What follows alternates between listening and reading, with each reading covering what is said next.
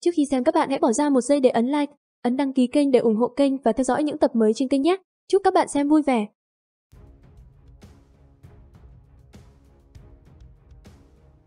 Bíp, kích phát nhiệm vụ chi tuyến cấp S khẩn cấp. Cảnh báo phía Nam Lương Châu xuất hiện hung thần thượng cổ. Trận chiến thảo phạt tướng Liễu. Thật ra tin tức đã nhận được vào tối hôm qua, nhưng đại tỷ nói ngươi đang nằm ngủ nên nhiệm vụ không phát được. Tướng Liễu, mục tiêu nhiệm vụ đánh chết tướng Liễu trước khi tướng Liễu tạo thành thương vong lớn. Nhiệm vụ chi tuyến cần ký chủ từ bỏ tất cả nhiệm vụ hiện tại, lập tức đi về đó. Bởi vì mình đang còn nằm ngủ, vì thế tâm nén tin tức lại, tại sao chứ? Bíp bíp. Tướng Liễu ở phía Nam Lương Châu, bây giờ mình đang ở phía Bắc, chỉ qua đó thôi cũng mất mấy ngày rồi, còn phải từ bỏ nhiệm vụ khai hoang trước mắt. Xảy ra chuyện rồi, Ngưu Lựu chúng ta quay về thôi. Chuyến đi này, công việc của tháng này để xem như vô ích rồi. Bíp. Phải nhanh chóng quay về, nếu không không biết sẽ chết bao nhiêu người nữa. Ủa, đại đương ra sao lại quay đầu rồi, không tìm thấy quái vật đó nữa sao? Xảy ra chuyện, ta phải quay về một chuyến. Người đi rồi, những huynh đệ khác phải làm sao?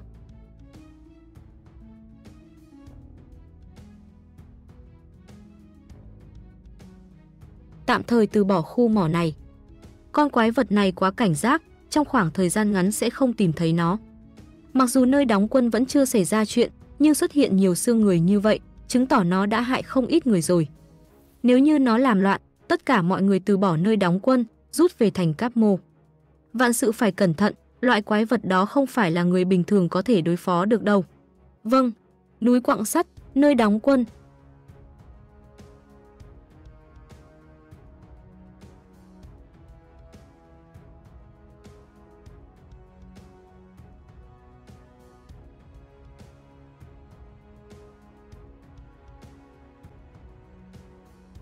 tâm.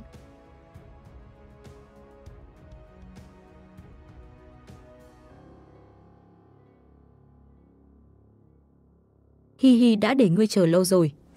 Đây chính là toàn bộ tài liệu của tướng Liễu.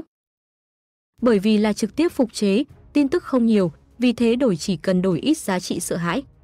Bíp, đổi khai Sơn Kinh, Đại Hoang Bắc Kinh, giá trị sợ hãi trừ 10 vạn. Tướng Liễu tuổi cụ thể không rõ, hung thú thượng cổ, thân rắn chín đầu, chín đầu mỗi đầu đều có linh trí, nhưng linh trí rất thấp, lấy thịt, linh hồn độ ẩm ướt làm đồ ăn. Nơi nào đến, đều thành đầm lầy, một giọt máu của hắn thẩm thấu vào trong mặt đất, cỏ ở trong một dặm xung quanh cũng không sống được. Trong khoảng thời gian ngắn không thể gieo trồng ngũ cốc, nhưng có thể dùng vôi để ngăn chặn máu độc. Phu tử đã từng giao thủ với nó, chiến đấu nửa ngày, bị phu tử cắt đứt phần lớn đầu rắn, cuối cùng tuấn liễu cạn kiệt sức mạnh, độn thổ chạy trốn. Thời kỳ thượng cổ chiến đấu với kẻ địch sau khi chém đầu nhiều lần, không ai có thể đem nó triệt để đánh bại, thắng lợi hoặc tướng liễu độ thổ chạy trốn là kết cục chiến đấu. Phu tử đánh giá, phòng ngự, sức mạnh bình thường, có sở trường sử dụng độc, độn thổ, khi chỉ còn lại một đầu cuối cùng linh trí sẽ trở nên cao hơn. Tâm, ngươi cảm thấy cấp của tướng liễu là gì? Có thể giao thủ với phu tử, chứng tỏ yếu hơn một chút so với đỉnh phong truyền thuyết, không đạt đến thần thoại. Hơn nữa xem miêu tả, nó có thế mạnh về độc, còn có năng lực chạy trốn. Ta còn hỏi Tiểu Long Long, hắn nói dị thú sẽ có ý tránh né lãnh địa dị thú mạnh hơn bản thân. Quốc vận mạnh hơn nó, dù sao cũng là cấp thần thoại, dưới tình huống bình thường tướng Liễu sẽ tránh Lương Châu, nhưng lần này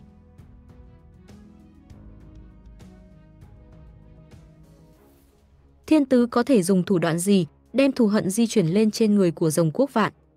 Đầu óc của tên này vốn dĩ không thông minh, nhìn thấy Lương Châu có hàng triệu người phàm, chỉ ăn vài người thăm dò phản ứng của quốc vận, có trùng hợp hay không, quốc vận nhìn vào nó. Tên này vừa hay cảm giác được hơi thở của quốc vận suy yếu, cũng bị thương nặng. Lần này bị trấn áp, thù hận, dục vọng bị đánh, còn có quốc vận bị thương nặng, nhiều chuyện như vậy chồng lên nhau, đã phóng lớn dã tâm của con này. Ừm, mặc dù nói là như vậy, nhưng nếu như là chuyện thiên tứ làm ra, trong lòng của ta có cảm giác gì đó sai sai. Thời gian còn quá sớm, nếu như chỉ có tướng liễu nhập cảnh, uy hiếp với trại cáp mô mặc dù là lớn, nhưng cũng không đến mức độ chí mạng.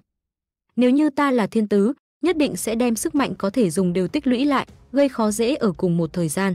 Chứ không phải là chiến thuật thêm mắm thêm muối từng người một, đây không giống với chuyện mà thiên tứ làm ra. Có thể hắn còn có âm mưu khác. Còn có một chuyện nữa, tâm, tại sao muộn như vậy rồi mới phát nhiệm vụ? Ha ha, thiếu niên. xem ra bây giờ ngươi thấy không vui. Tức giận rồi, không có. Chỉ là vì để ta nghỉ ngơi mà cố ý che tin tức đi, không giống như chuyện mà ngươi làm ra, chuyện khác thường nhất định là có nguyên nhân. Vì thế ta muốn nghe nguyên nhân ngươi làm như vậy. Ha ha ha ha. Thiếu niên, suy nghĩ của ta chính là Ngươi có thể Yên tâm đem tướng liễu nhường cho huynh đệ khác giải quyết không? Không được. Tại sao lại không được? Thiếu niên Ở trại cáp mô cho dù là nam hay nữ, già hay trẻ, mạnh hay yếu, đều là sinh tồn dưới sự bảo vệ của ta. Trước đây ta đã từng vì cảm giác sứ mệnh này, cảm thấy bản thân phải gánh vác tất cả. Ta đã từng giống với ngươi, cảm thấy năng lực càng lớn thì trách nhiệm càng lớn. Ta đã từng nói qua chuyện trên phi phàm ta sẽ giải quyết, mà chuyện phàm tục mới là chuyện ngươi cần làm. Ngươi phải tiếp tục xây dựng sơn trại, tìm kiếm thế giới, hoàn thành nhiệm vụ để cho sơn trại mạnh hơn, để cho hệ thống cũng trở lên mạnh hơn, cũng để bản thân ta mạnh hơn. Cảm thấy không nên để cho ngươi đi tiếp xúc với những sự vật siêu phàm kia. Ta phụ trách xử lý tất cả chuyện siêu phàm cho ngươi. Mà ngươi chỉ cần xử lý chuyện phàm tục. Chỉ cần ta an tâm quản lý sơn trại là được rồi. Bởi vì ta của lúc đó không có chút kiên kỵ, cảm thấy bản thân có thể giáng lâm bản thể bất cứ lúc nào. Trên trời, dưới đất, duy ngã độc tôn. Chương này ôn lại đạo lý nhân sinh, nói chung lại câu chương. Nhưng sau đó thì sao?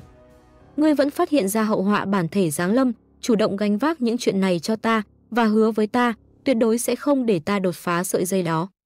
Chúng ta không hổ danh là một cặp trời sinh. Đến ngay cả con đường trưởng thành cũng giống như vậy. Bây giờ ngươi và ta tâm thái của lúc đó là như nhau. Ta giống như tiên cúi xuống nhìn người phàm. Mà ngươi cũng trở lên tự phụ hơn trong bất trì bất giác. Chúng ta đều như nhau. Tự cao, tự phụ, cao cao tại thượng ngông cuồng tự đại. Đây chính là điểm yếu của nhân tính. Rõ ràng nhớ kỹ sứ mệnh, nhưng tiếp xúc với cổ thần và thiên tứ, những dung khí giả cao hơn một bậc so với người phàm. Mấy năm ngắn ngủi sứ mệnh đã có một vài biến chất, bắt đầu bất chi bất giác hạ thấp giá trị của những huynh đệ khác, làm người hầu của bản thân. Ngươi của trước đây, đi đâu rồi? Trình Đại Lôi, đại đương gia của trại Cáp Mô, hủy diệt 10 vạn nhung tộc, đại ca Trường An, chiến thần thích khách, công chúa cướp người thân, ám sát nhung tộc vương, xông vào thư viện, giết hình thiên, tiêu diệt cổ thần, đại gia trưởng đương gia làm chủ của Lương Châu, đưa theo công chúa ám sát hoàng đế. Chiến tích huy hoàng như vậy, bất kỳ một chuyện đều có thể để cho người bình thường nhẹ nhõm, trở thành đề tài câu chuyện của cả đời.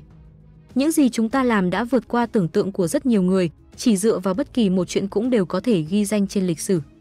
Đi con đường xa như vậy, có phải nên quay đầu xem thử thiếu niên ban đầu kia rồi hay không? Bạch Sa lần đó cũng như vậy, Thôi Lộng Hải lần đó cũng như vậy, còn có cổ thần và thiên tứ. Mỗi lần đều là bản thân ngươi cầm theo thất phu kiếm chạy khắp nơi. Nhưng thế giới rộng lớn. Dựa theo thống kê Sơn Hải Kinh của phu tử, đế quốc tồn tại mấy trăm loại dị thú, ở bên ngoài đế quốc có khi nào sẽ còn có con lớn hơn hay không? Sau đó thì sao? Ngươi lại cầm kiếm đi giết. Một lần lại thêm một lần. Một lần lại thêm một lần.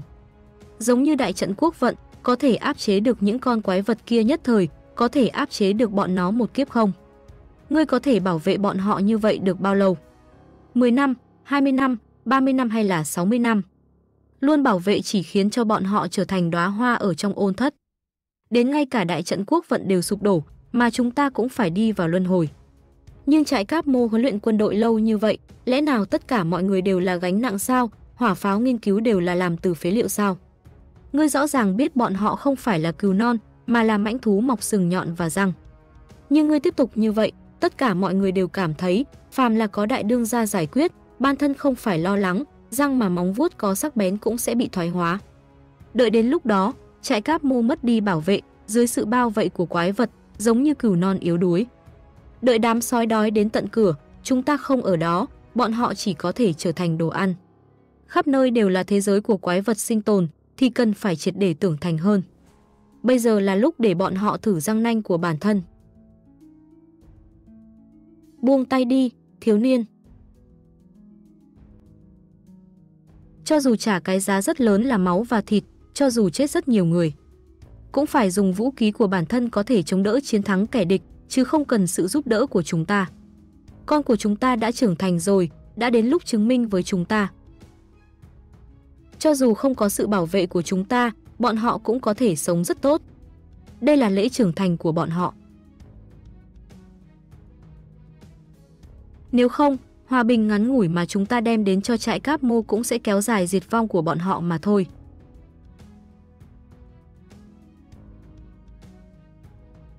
Ta hiểu rồi. Ta quả thật có hơi ngạo mạn, vậy mà quên mất bản thân cũng là một thành viên của trại cáp mô. Nếu như đã bắt đầu chiến đấu, vậy chính là đất không phân nam bắc tuổi không phân già trẻ, cho dù bất cứ người nào đều có trách nhiệm kháng chiến giữ đất, đều ôm quyết tâm hy sinh tất cả. Thiên hạ thịnh vong, thất phu có trách nhiệm.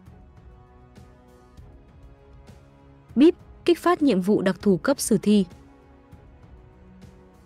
Lễ trưởng thành Dưới tình huống không có dung khí giả tham chiến, với thân thế của người phàm, săn giết một con dị thú mạnh, ký chỉ chỉ có thể chuẩn bị vũ khí và thuốc cho bọn họ, độ khó S cộng, phần thưởng, mở ra công năng mới của hệ thống. Lão đại, lão đại.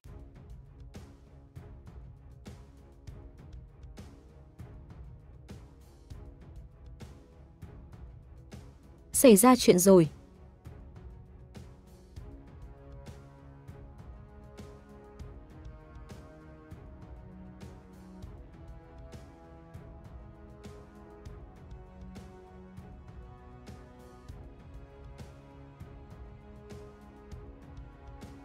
Yên tâm, mọi chuyện ta đều biết rồi. Lão đại, chúng ta cùng nhau quay về đó. Đó là tướng liễu đấy, một trong tứ đại hung thần trong truyền thuyết.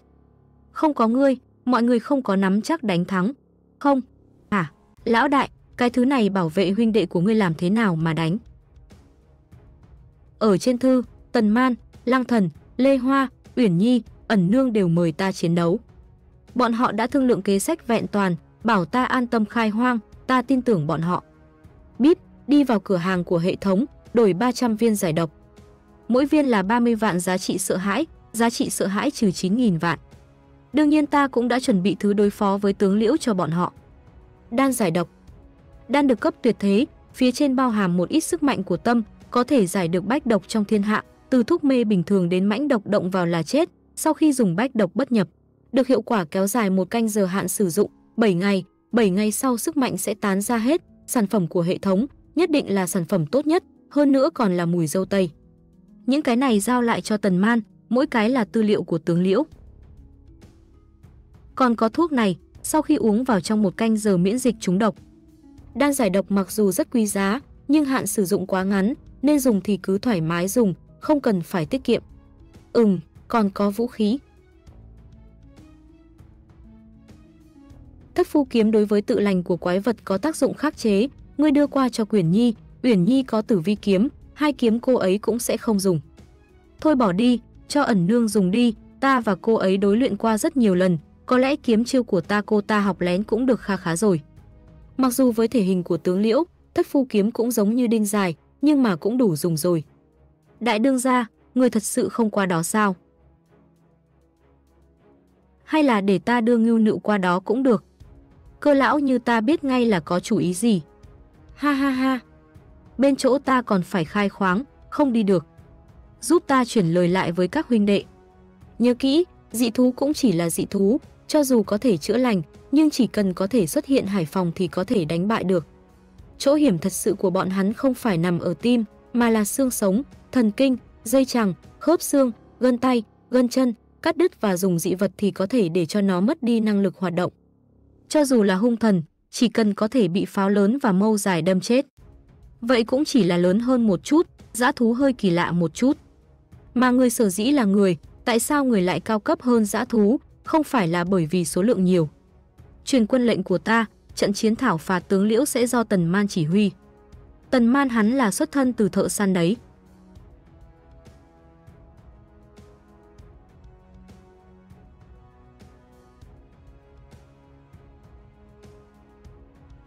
Tiếp tục khai hoang,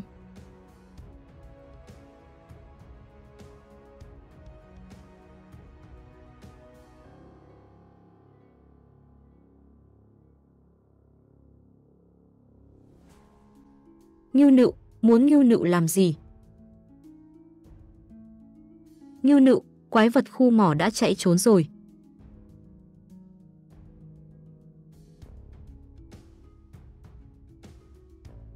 Ta ở đây nè, đến đánh ta đi. Tiếp tục đuổi theo. Thành Lương Châu Quẹ, thối thật. Ha ha ha, đại nhân, đây đều là phân bón chúng ta dùng để bón ruộng. Xe này cũng đều như vậy, có cần phải mở ra kiểm tra không?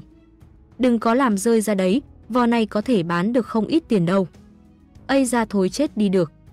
Thôi bỏ đi, lấy máy vò là được rồi. Mau nhìn kìa. Thành Lương Châu sắp xuất binh rồi. Đại đương gia có phải là muốn tấn công vào thành hay không? Chuẩn bị đánh ai vậy? Nhìn trang bị của bọn họ, hỏa pháo, cung tên, lớn như vậy, còn có pháo hỏa lôi, đây là một trận đại chiến. Ai mà biết được chứ, không biết lần này người dẫn binh lại là đại tướng nào. Ừm. Tần tướng quân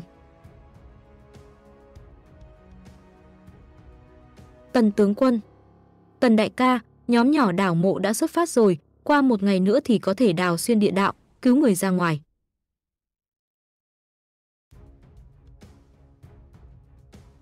Tốt, tiến hành theo kế hoạch, cứu người trước rồi săn giết. Ừm ừm ừm lần này có kịch hay để xem rồi.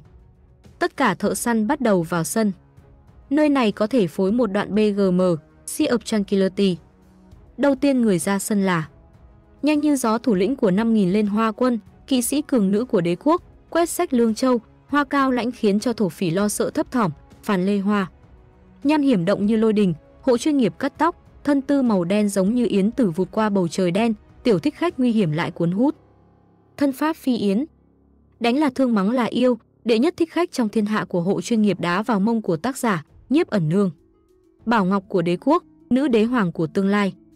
Thân pháp phi yến, vật may mắn có thể quản lý nhà cửa, đại tổng quản của trại cáp mô, có tấm lòng bao la lại khiêm tốn, Lý Uyển Nhi. Tư Mã Thiến phiền phức thật, muốn giết chết cô ta. Đại lôi vậy mà không tới, uổng công mình mong chờ như vậy, đáng ghét. Ẩn nương vậy mà lấy được thất phu kiếm từ trong tay của đại lôi. Còn có thu hoạch áp chót tuyệt hung hổ của đế quốc. Hành động nhanh như gió, hành động chậm ngăn nắp rốn như rừng cây. Trụ cột của Lương Châu. Quân đội mạnh nhất của trại Cáp Mô, tướng lĩnh của Man Tự Quân. Đứng sau lưng nam nhân có cảm giác an toàn. Tần Man, Vạn Mã Trại, Lão Nico.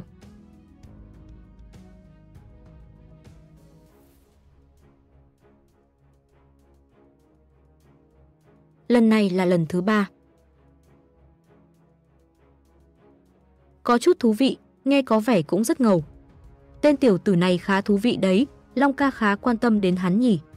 Ha ha ha, hắn là người dám từ chối ta ra tay, cũng xem là người phàm mà ta xem trọng nhất. Có chút thú vị, nghe có vẻ cũng rất ngầu. Tên tiểu tử này khá thú vị đấy, Long ca khá quan tâm đến hắn nhỉ. Hắn là người dám từ chối ta ra tay, cũng xem là người phàm mà ta xem trọng nhất. Hửm, không lẽ ngươi muốn cho hắn mượn sức mạnh để gian lận đấy chứ, rồng phá hoại đế quốc? Không đâu, đây là thí luyện của bọn họ, chúng ta đánh máy cũng thấy phiền phức nhất là người khác chỉ trỏ năm ngón ngươi nói có đúng không, vô cớ cơ giáp bá vương. Hơn nữa cho dù là ta cho hắn mượn, có lẽ cũng sẽ không thèm chấp nhận. Nhưng mà thời tiết ở nơi tướng liễu ở bị tướng liễu làm cho sắp có trời mưa, gây bất lợi đối với người phàm. Ta sẽ tranh đoạt quyền khống chế một chút, sáng tạo ra chút điều kiện thiên thời cho hắn, cũng là ở trong phạm vi quy tắc đúng không? Bíp, biên giới Lương Châu mưa nhỏ chuyển thành tuyết nhỏ.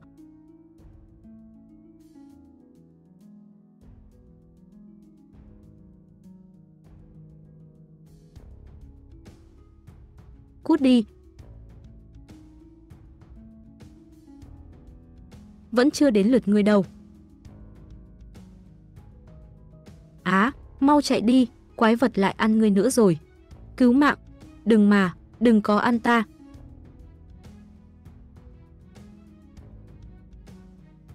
con gái, cha, mau đi đi, đừng mà. Thể lực đến giới hạn rồi, cơ thể đến ngay cả một ngón tay đều không nhúc nhích được. Không thể chiến thắng kẻ địch, không thể ngăn cản kẻ địch, cho dù là cố gắng cũng không thể làm được. Cảm giác bất lực trước nay chưa từng có. Cho dù có ngăn cản như thế nào, đối với quái vật mà nói cũng chỉ là vô ích.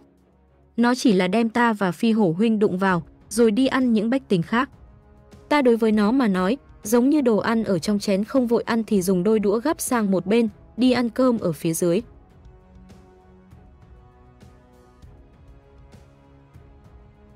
Đúng là mối sỉ nhục lớn. Ờ, no rồi. Cho vào bao một phần. Ta cũng muốn. Ha ha ha.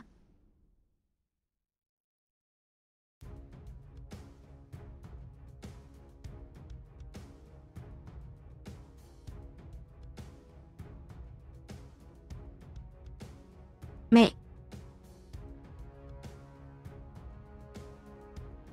Đây đều là ác mộng có đúng không? Cha đã bị con quái vật đó ăn rồi.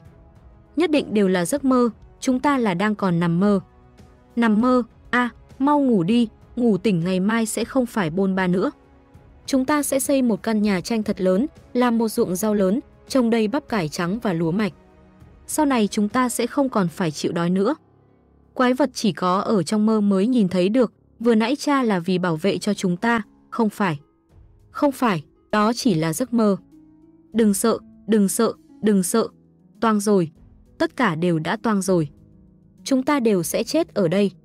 Ha ha ha ha, Lưu Đại Nhân. Tại sao?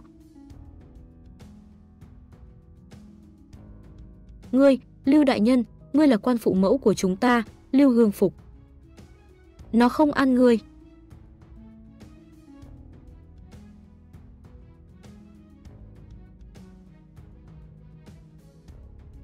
Đều tại ngươi. Tại sao? Tại sao người chết không phải là ngươi? Nếu như không phải ngươi đưa chúng ta đến nơi này, chúng ta sao có thể đụng phải con quái vật này chứ? Ngươi rõ ràng đã nói qua, sẽ chặn được con quái vật đó, cho dù lấp đầy bụng của con quái vật đó, ngươi cũng phải là người đầu tiên, tại sao chứ? Con trai của ta, mẹ của ta, cha, cả nhà của ta đều đã bị quái vật ăn rồi. Ngươi nói gì đi? Tại sao nó lại không ăn ngươi? Nói đi tên khốn kiếp. Tại sao nó lại không ăn ngươi?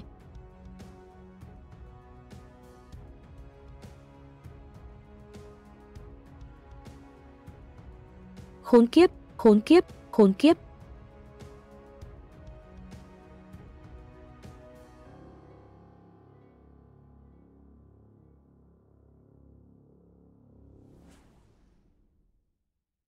Thôi bỏ đi.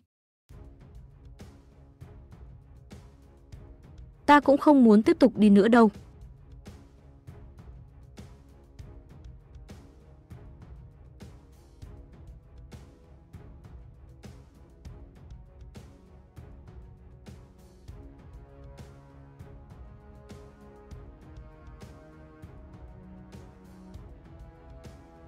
Hắn vẫn luôn cầm theo đao.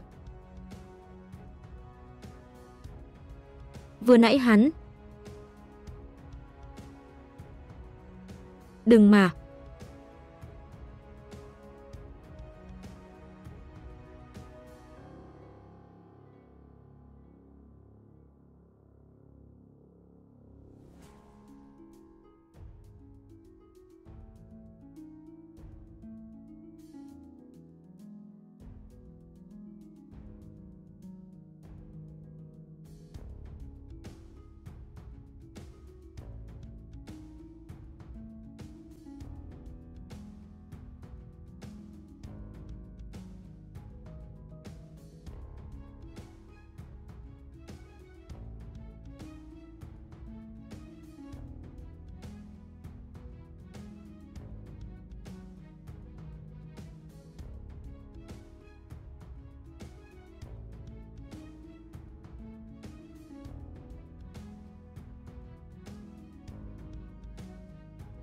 khốn kiếp.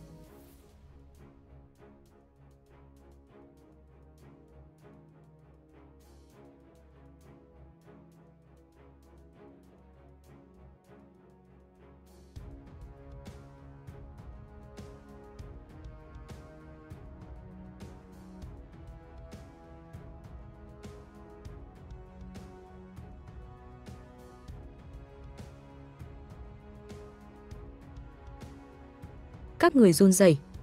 Mọi người run rẩy. Mọi người khóc lóc. Mọi người vùng vẫy. Mọi người nhìn xung quanh.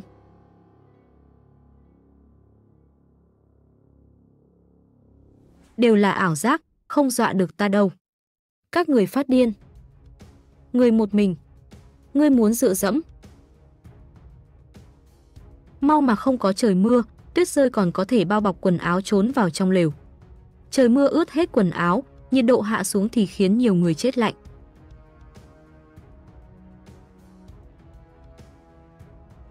Lưu huynh đệ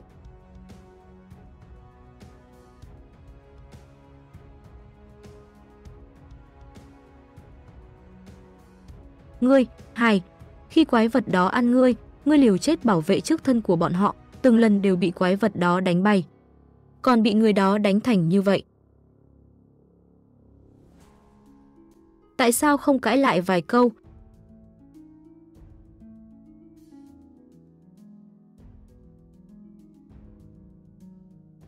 Bởi vì hắn không làm sai.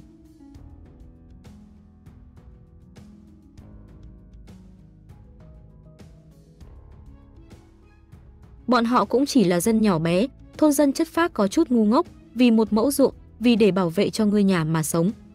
Ai có thể bảo vệ cho bọn họ, để cho bọn họ ăn no mặc ấm, bọn họ sẽ ủng hộ đi theo người đó. Ta là quan viên dẫn đầu của bọn họ, là người bảo vệ và là người lãnh đạo của bọn họ.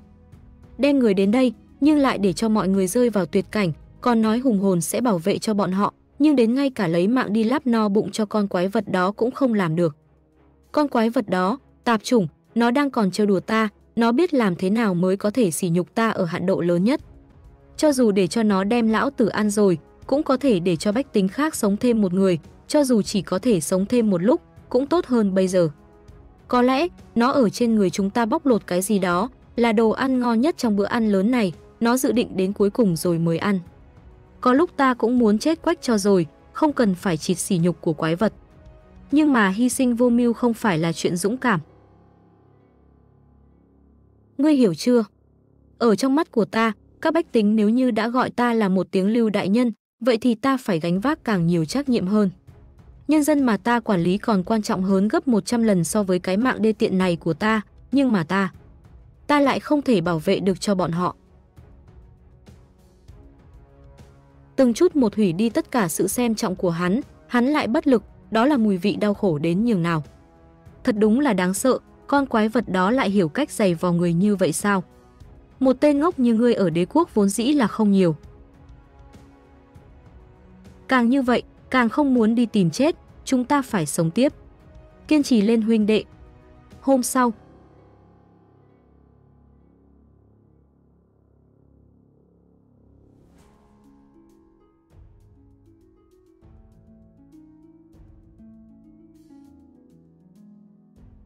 Mịa là, tuyết này vừa đắng lại vừa khó ăn. Đừng uống, rất nhiều người không nhìn được cơn đói khát, sai khi uống nước mưa vừa đau bụng lại vừa buồn nôn. Vách núi kiên cố đã trở lên yêu ớt, dễ bị nát ra. Cây cỏ chết khô, vách núi sụp đổ, nước sông đặc lại. Xem qua thêm một khoảng thời gian nữa, nơi này sẽ biến thành đầm lầy mà nó thích nhất. Thời gian của chúng ta không còn nhiều nữa rồi. Lại là một vòng đi ăn. Tất cả mọi người đã gần sụp đổ.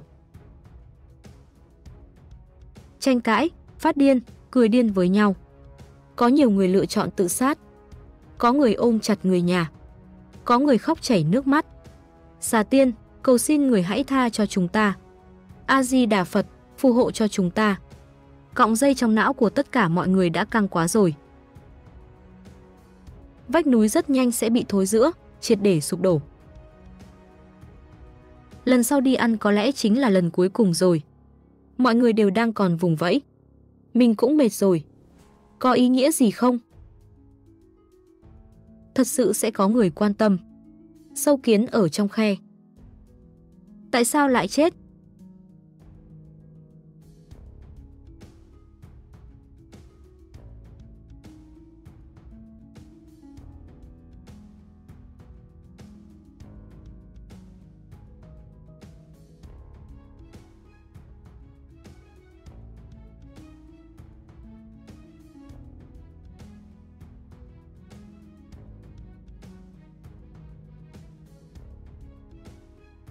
Tới rồi. Tin tức làm phấn chấn lòng người rất nhanh đã truyền khắp quần thể của cả lưu dân.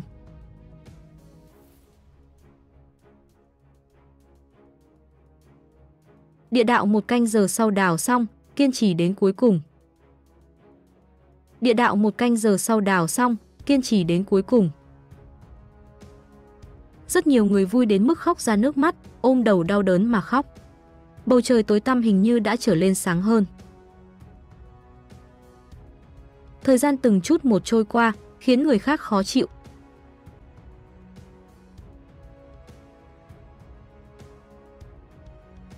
Tới rồi, tới rồi. Ha ha, ở đây, tốt quá rồi, ta muốn là người đầu tiên rời khỏi cái nơi quỷ quái này. Địa đạo sắp đào được rồi.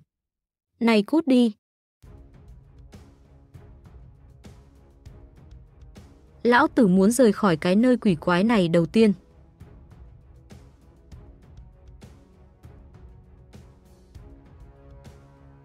Hừ, ai dám giành với lão tử, lão tử giết chết hắn. Tên ác bá đó, đáng ghét. Đúng là thô bạo thật. Ha ha ha ha, hửm. Không muốn bị đập thì cút đi. Nhanh cút đi. Ha ha ha, sắp được cứu rồi. Mặt nước yên tĩnh như vậy, không nhìn thấy dấu vết của quái vật, có chút không hợp với lẽ thường. Nhưng nó ăn người chưa đến một canh giờ, bây giờ có lẽ là tiêu hóa rồi. Phi hổ, ngươi nhìn ra cái gì rồi? Ta cũng không biết. Chỉ là trực giác của người câu cá. Quá yên tĩnh rồi, đến ngay cả hơi nước đều không có. Vậy ngươi cảm thấy bây giờ nó ở đâu? Ở.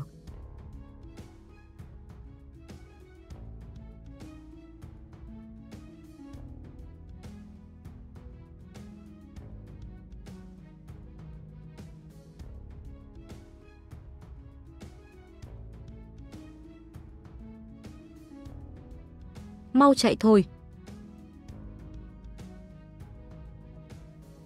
Mau chạy thôi. Cái gì? Hùng Chạy, rời khỏi nơi đó.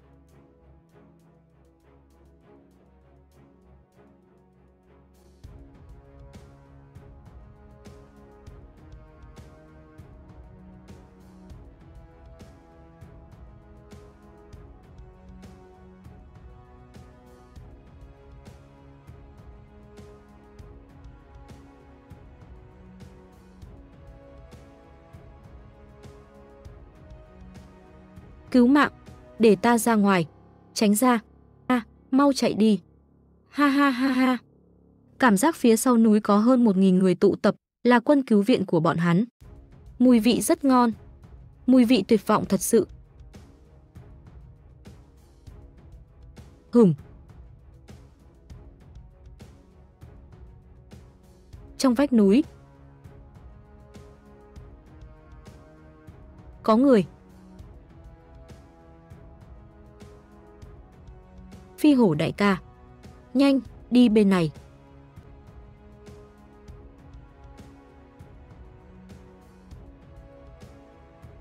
Đây chính là mục tiêu của lần này. Hổ ca, đi thôi. Kẻ đào mộ, vương đại nã. Đừng hòng chạy trốn, đám lương thực thấp kém các ngươi. Ngươi đi, ở lại đây có ta là đủ rồi. Nói cái gì vậy? Ngươi có thể chặn được nó sao? Cho dù là được định sẵn là chết, nhưng giữ chân mấy cái đầu trong chốc lát vẫn là có thể làm được. Phi thiên cáp mô, lưu dân giao lại cho ngươi, nói với phi báo, chăm sóc tốt cho mẹ. Mọi người đều ở sau núi mai phục. Kế hoạch có biến, ta quay về để chuyển cứu binh. Này, phi hổ đại ca. Những huynh đệ khác của trại cáp mô đều ở phía sau núi đợi đấy. Vì đám lưu dân này mà vứt đi tính mạng. Có đáng hay không? Có gì đâu mà đáng với không đáng. Ha ha ha ha. Chỉ là vứt lại đám lưu dân này rồi bỏ chạy cũng quá mất mặt, cả đời này của ta lương tâm đều thấy bất an. Xông lên.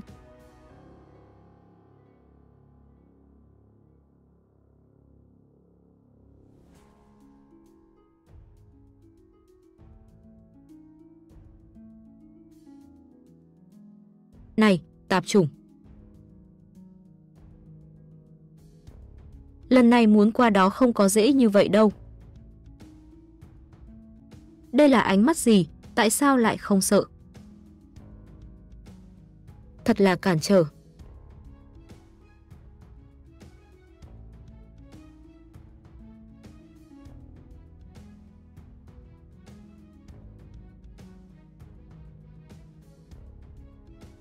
Không hay, trượt tay rồi.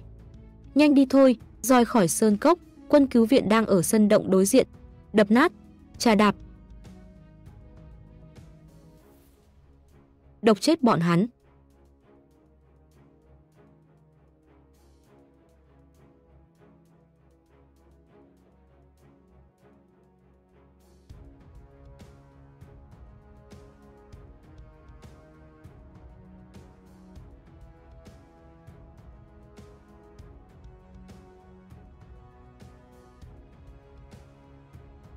Dây, đứt rồi.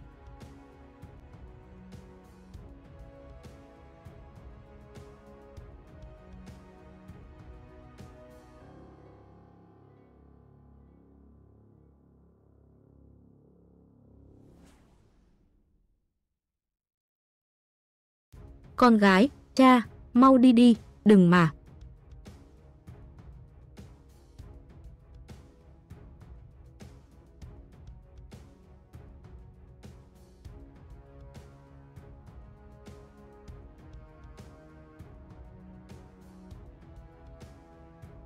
Đánh chết nó, xấu xa, băm trả lá lốt nó đi. Ha ha ha ha, phế vật ngươi, vậy mà bị người phàm chém cho bị thương. Ngươi chẳng qua cũng chỉ có như vậy.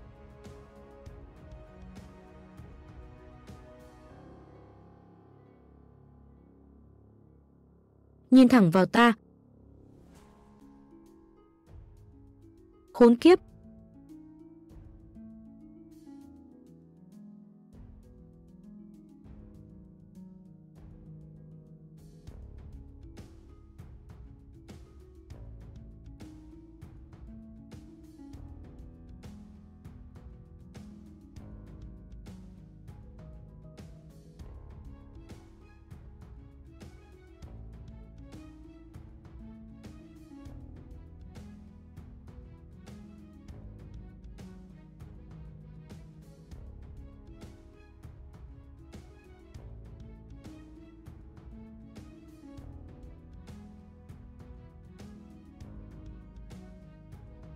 lại là linh hồn của một loài người đỉnh phong, hôm nay thật sự là may mắn. Phía sau núi còn tụ tập hơn một nghìn người. Còn có những lưu dân kia.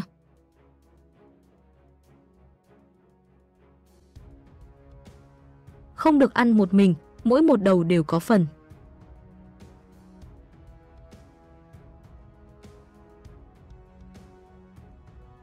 Không cướp được, vậy thì ta sẽ ăn cái này. Tới rồi, ta đã gây ra hứng thú cho nó rồi.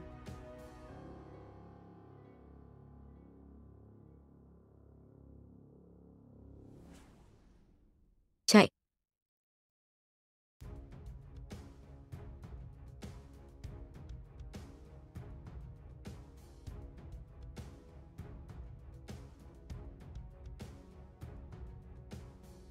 Miệng nó, lấy thân làm mồi nhử cũng không phải là chuyện tốt đẹp gì đâu, khốn kiếp, phi hổ đại ca.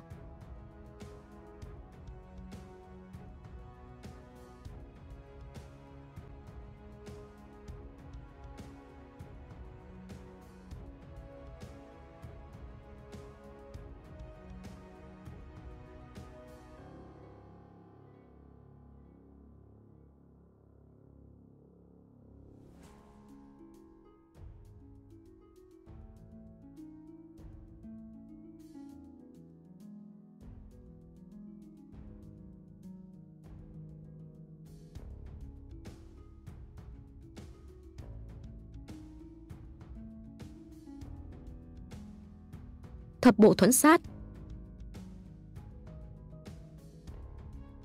Bọc yên hoa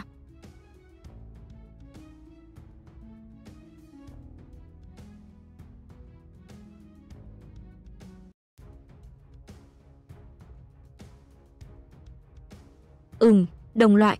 Ừ, đồ ăn bị cướp đi rồi. Còn có thanh kiếm đó. Ha, cướp đồ ăn từ miệng rắn, kích thích. Đuổi kịp rồi. Đây là đã phế một đầu rồi, xem ra con quái vật này cũng chẳng ra làm sao cả. Đánh lén may mắn thành công mà thôi, còn dính uy lực của thất phu kiếm. Hơn nữa chém không đứt sớm muộn cũng sẽ mọc lại. Nếu như bị bám lấy rơi vào tiêu diệt, vậy thì ai cũng không lấy được lợi ích. Muốn triệt để giết chết nó, cần toàn bộ chín đầu đều bị chém đứt. Số lượng chém đầu càng nhiều, nó sẽ càng bỏ trốn, sau này muốn giết nó cũng sẽ càng khó hơn. Vậy có khi nào nó sẽ bị chúng ta dụ đi hay không? Có lẽ là không, đừng sợ. Chỉ cần tài liệu không xảy ra sai sót, ngươi và nó là đồng loại, ai cũng không giết chết ai, nó không biết ngươi nông cạn, vì thế đang còn kiên kỵ ngươi và kiếm trong tay của ngươi. Vì thế, nó sẽ đuổi theo người phàm khác. Cái tên mềm nắn rắn buông. Đi, rời khỏi nơi này. Đi đến chỗ bẫy thú đợi nó. Nặng thật, nó sẽ đi không? Nó sẽ đi.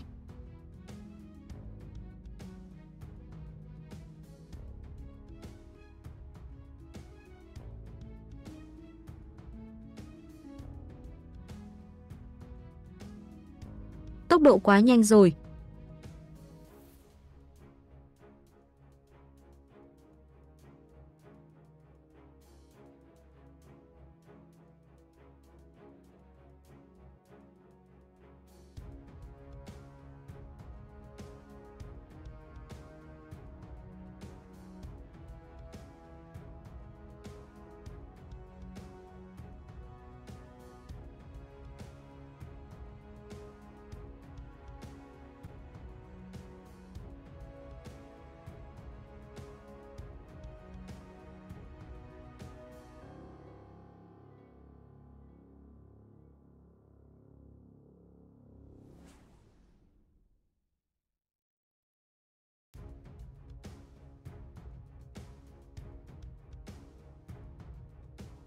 Tới rồi, đưa lưu dân đến nơi an toàn.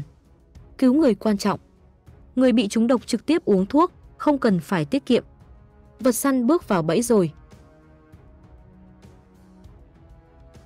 Phi thiên cáp mô rút lại. Không vội, không đủ. Nó vẫn chưa hoàn toàn cắn câu. Nam Nhi hết sức lông bông, trời ban thời cơ tốt, lập công bất thế muốn đại danh hiệp nghĩa của phi thiên cáp mô lưu danh muôn đời. Chỉ có thể dẫn một đầu, chút công lao này thì không đủ rồi. Nghiệt xúc, cầm mồm. Cho ngươi nếm thử mùi vị của hỏa lôi.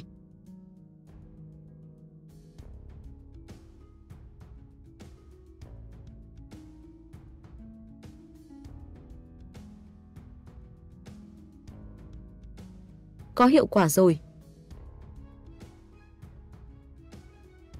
trong lòng đất.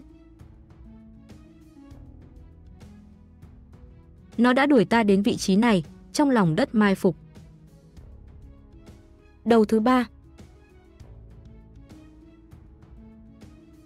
Lâu la mà cũng dám khiêu khích, ăn ngươi, nguy rồi.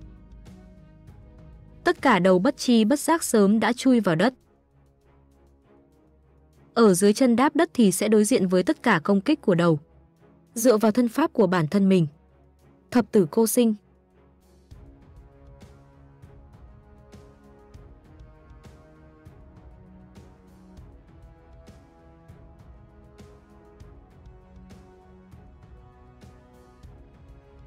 Lạc Lê Hoa. Liên Châu Tiễn. Hảo huynh đệ, cảm ơn nhé đừng đánh một mình.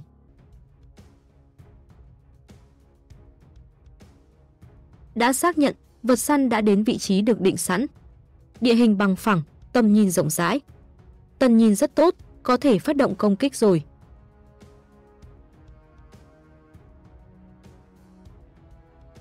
Tần tướng, hạ lệnh đi, truyền lệnh. Toàn quân tiến lên phía trước. Đội một dương cung lên trước, đội hai lùi lại sau dự bị, tiếp tục bắn. Các quân và trung quân trọng giáp thuẫn binh doanh ăn ý với nhau. Vật săn ở phía góc phải nghiêng. Phía góc trái nghiêng, đội 3 đội 4. Các quân đã vào chỗ, chữ thế đợi lệnh. Chờ đợi tất cả đầu của vật săn hiện thân. Tiến hành theo kế hoạch, dùng mũi tên sắt hạn chế vật săn. Mục tiêu, cổ rắn, bảy thước, đầu rắn, bụng rắn. Dương cung, tùng tùng.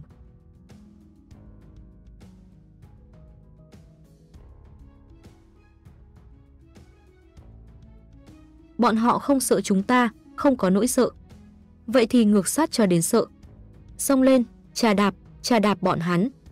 Các huynh đệ, chúng ta đã trải qua vô số lần nghịch cảnh, dựa dẫm vào nhau, mỗi lần đều có thể vượt qua cửa ải khó khăn, đồng sinh cộng tử. Vì con dân trong thiên hạ mà chiến đấu, chính nghĩa tất thắng. Quân ta tất thắng.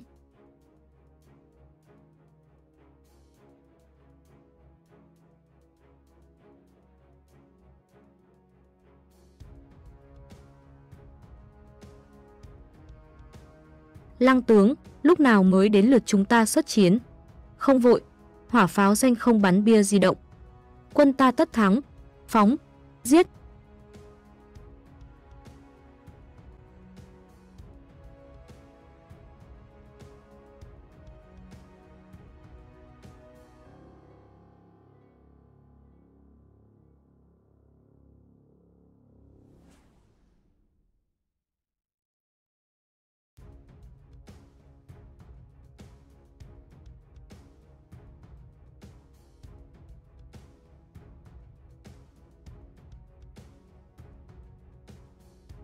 Cơ bắp lành lại cắn chặt vào mũi tên đặc biệt.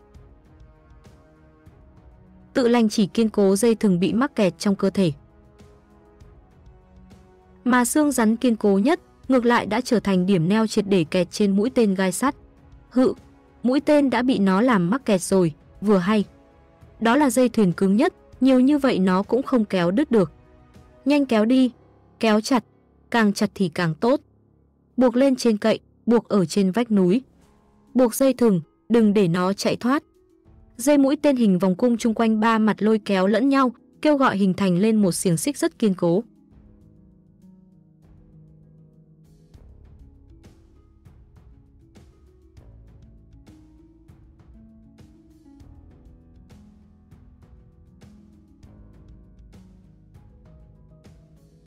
Đau quá, đau quá.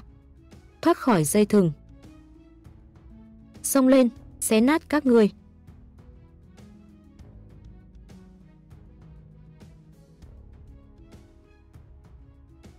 Đội bắn cung, tiếp tục bắn, gia cố cầm cố. Với không tới. Càng vùng vẫy dây thừng sẽ càng chặt hơn.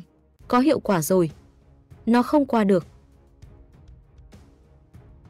Danh trưởng, lúc nào chúng ta mới khai pháo?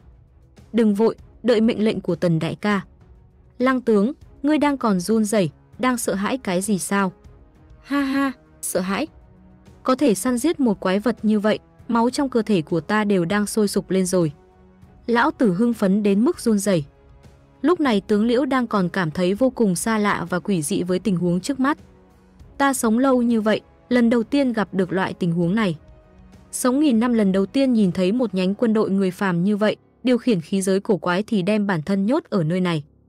Bản thân ngủ một giấc, thế giới đã thay đổi lớn như vậy rồi sao?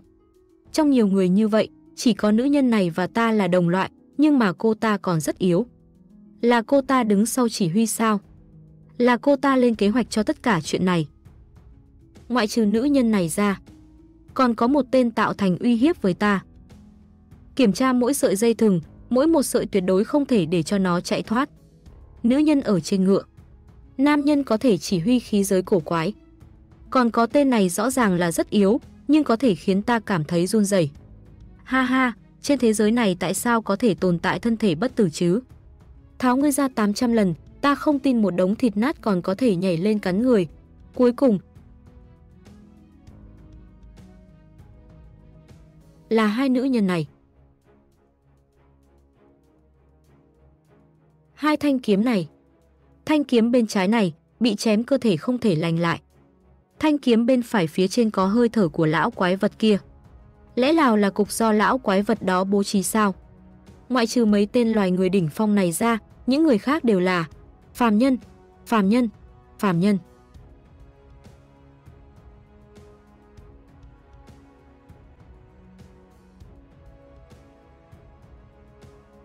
Một đám côn trùng yếu đuối, nhu nhược, chỉ xứng trở thành chất dinh dưỡng và lương thực của ta. Vậy mà dám bày ra dáng vẻ của người săn bắt, xuất hiện ở trước mặt của ta. Ta là tướng liễu từ thượng cổ sống đến bây giờ có các loại lời đồn ly kỳ, câu chuyện được lưu truyền trong nhân gian, được thần ma thượng cổ phong cho danh hiệu tứ đại hung thần. Bọn họ có nội tình gì mà dám đưa ra răng nanh với ta, bọn họ không phải là vẫn luôn sợ hãi tử vong, sợ hãi hung thần thượng cổ ta hay sao? Độc chết bọn hắn. Chết hết đi cho ta. Đội cung, mục tiêu là túi độc. Tự do xạ kích. Một trong cách ứng phó tướng liễu phun độc, kinh nghiệm thực chiến đến từ phu tử. Túi độc suy yếu, sau khi đánh nổ khí độc sẽ tiết ra bên ngoài. Sẽ mất đi thủ đoạn phun độc từ xa, không tạo thành uy hiếp. Tần tướng quân, số lượng tướng quân gần hết rồi. Chuẩn bị xe ném đá. Ném đá vôi. Bắn ở góc 45 độ. Kéo. Hự hự. Phóng.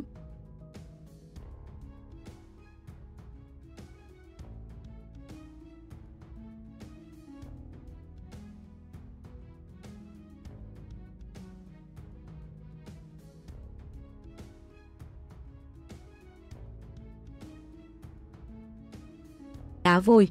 Chất dính của cơ thể đã bị đá vôi dính vào. Kinh tởm, kinh tởm. Huệ.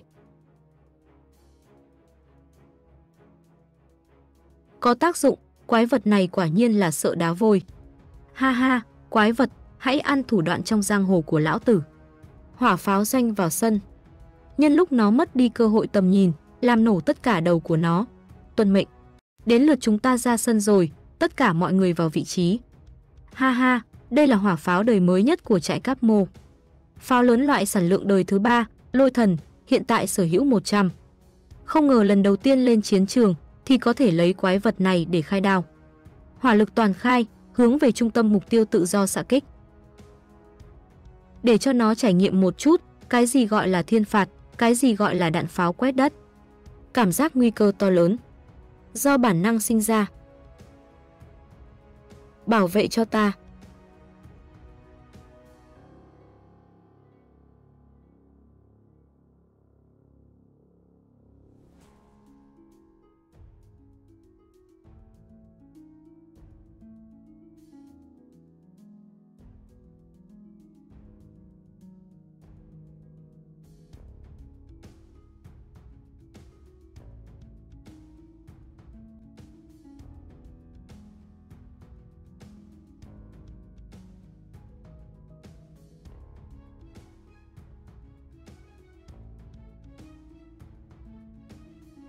Thành công rồi. Tiếp tục lấp đầy đạn pháo. Báo, lòng pháo quá nóng, cần phải làm lạnh một chút. Sau khi bắn pháo, dây thừng cũng đã đứt hơn một nửa rồi. Mặc dù là còn rất nhiều cái nối lại, nhưng cung tên còn lại không còn nhiều nữa. Uyển Nhi, nó vẫn chưa chết. Ừm, không có dễ như vậy đâu.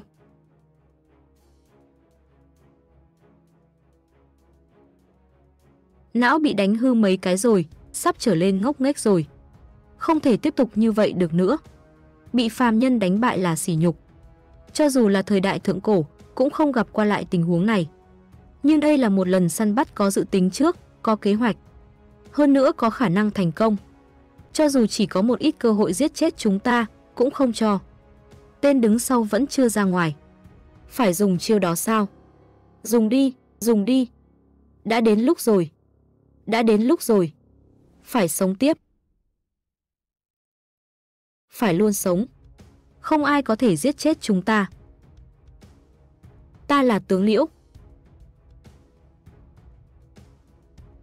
Giã thú trong giã thú. Hung thần trong hung thần.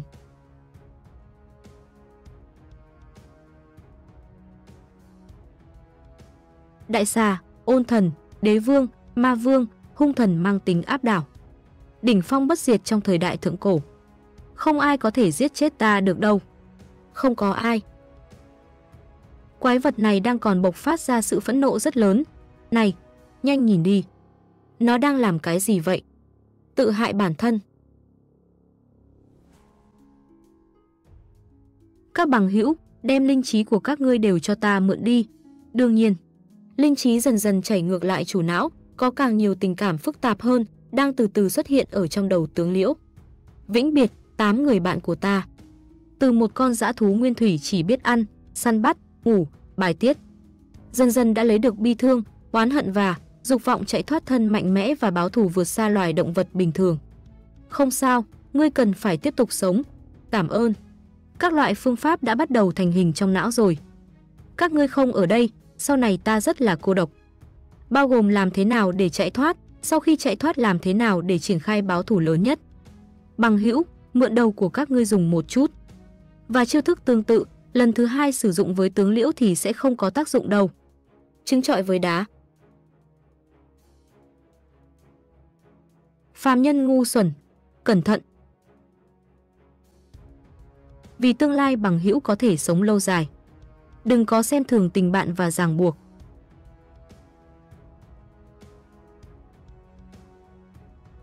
Giữa chúng ta, hồn nhạt là chỉ linh hồn yếu ớt. Nhanh né đi.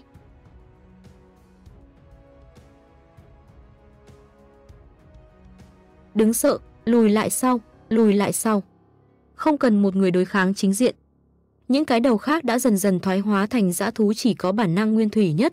Đừng sợ, trước tiên là cứu người đi. Thuẫn binh tiến lên phía trước, chặn nó lại. Đoàn kết lại. Lên, giá thuẫn. Không hay, nó đang còn phá hoại cung bắn tên. Chặn nó lại. Đầu bị đứt chỉ còn lại bản năng cuối cùng. Chặt đầu sẽ tự động tìm được phàm nhân ở khoảng cách gần nhất, sau đó tàn sát bừa bãi, phá hoại, hỏa pháo. Có người bị trúng độc rồi. Trước tiên kéo người đi. Từ bỏ tự chữa, để cho vết thương tiếp tục chảy ra máu độc. Đem toàn bộ sức mạnh hóa thành máu độc, phun máu, mau né đi. Hấp thu nỗi sợ.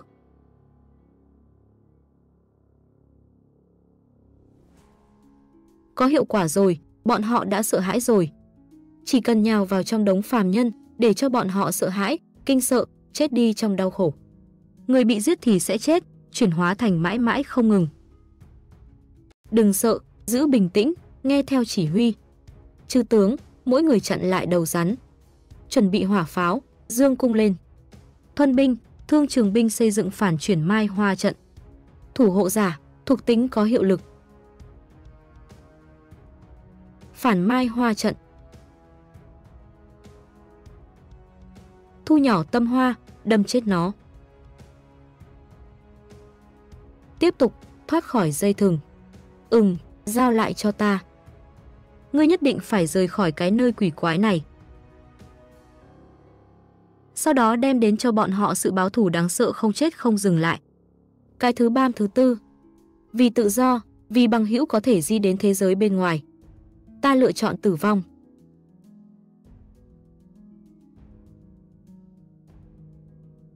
Đến lượt lão tử rồi. Cái thứ năm, cái thứ sáu, cái thứ bảy. Ha ha ha ha, tránh liệt thành nhân. Ha ha ha ha, chống đỡ chúng ta đối diện với tử vong là tín niệm của tự do. Học học, bay lên, phàm nhân, chịu chết đi. Vì để bảo vệ bằng hữu mà chiến đấu. Trước tiên là né đi. Lại tới nữa rồi. Đừng sợ, chấp hành mệnh lệnh của tần tướng. Nó đột phá giữa chừng, giết vào trong trận. Chặn nó lại, đừng để cho nó phá hoại cung tên và hỏa pháo. Thuẫn binh tiến lên. Trường mâu binh lên, đâm nó, lên, lập thành trận hình.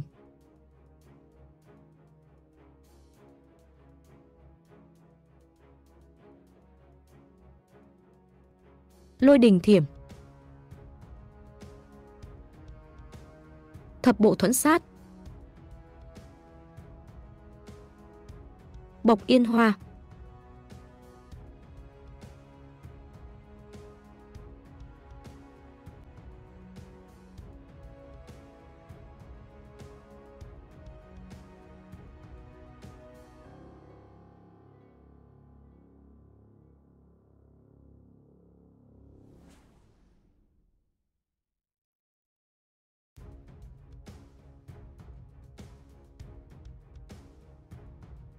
Đừng loạn, tổ chức lại trận hình mới. Tiếp theo là trận chiến chém đầu mỗi bên. Cẩn thận, hông tụ phi kiếm. Tín thủ trảm long.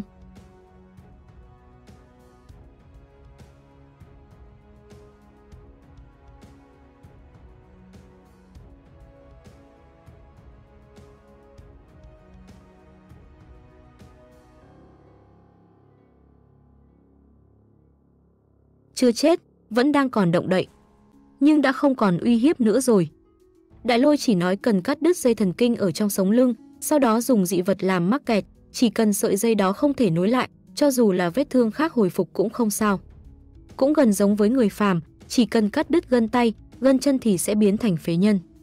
Chỉ cần vết thương bị mắc kẹt vậy đổi vũ khí có lẽ là cũng được. Nghiên cứu một lúc, sau đó dành thời gian đi giúp đỡ cho người khác. Hi hi hi hi hi. Người huynh đệ, cho ta mượn thương dài dùng một chút. Còn nữa, đem vôi chuyển qua đây. Ừm, được. Ừm. Nào, các huynh đệ, trước tiên giải vôi lên trên nó rồi ướp một chút cho ngấm. Lưu Đại Phu nói sợi dây này của nhân thể đại khái là kích cỡ của ngón tay cái. Mà thể hình của con rắn này càng lớn, dây có lẽ là càng thô hơn. Ở giữa, ừm, tìm thấy chỗ chính xác rồi, may mà có kinh nghiệm đâm người phong phú, nếu không thật sự là không dễ tìm sau đó rút kiếm. Hửm. Cử động rồi. Kỳ tích của y học. Lai bắt đầu động đậy rồi. Hay hay. Lại không động đậy được rồi.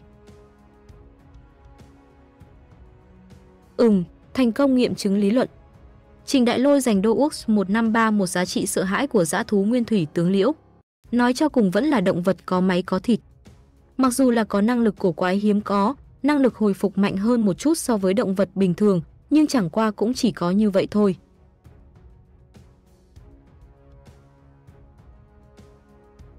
Ha ha ha ha. Nếu như đã có cách trị ngươi, ăn nhiều người như vậy, không thể nào để ngươi tùy ý chết đi được. Vì để đề phòng, cắm thêm vài thương, à không, mấy chục thương chứ. Giá trị sợ hãi của tướng Liễu cộng 1854. Cường Thế đứng xem. Ừm, cắm thành như vậy, có lẽ là được rồi.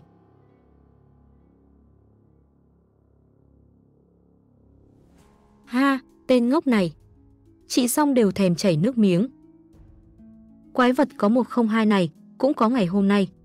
Hừ, ta đã nói các ngươi đang sợ cái gì. Vẫn không bằng ta.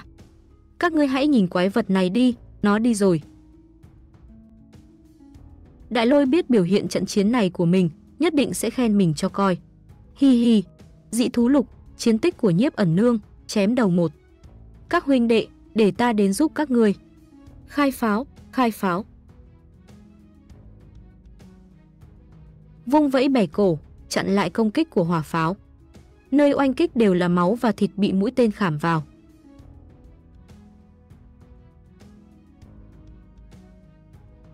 Đồng thời đem đến thương thế cho tướng Liễu, cung để cho nó thoát khỏi càng nhiều ràng buộc hơn. Từ trước đến nay không có bị thương nặng như vậy, sức mạnh cất trữ trong cơ thể đã tiêu hao hơn một nửa rồi, nhưng ưu thế vẫn nằm ở phía ta. Mặc dù sức mạnh hấp thu trên người họ đã biến nhỏ đi. Nhưng không sao. Chỉ cần trong khoảng thời gian ngắn đám lưu dân đó vẫn đang còn sợ hãi, không ngừng cung cấp sức mạnh cho ta.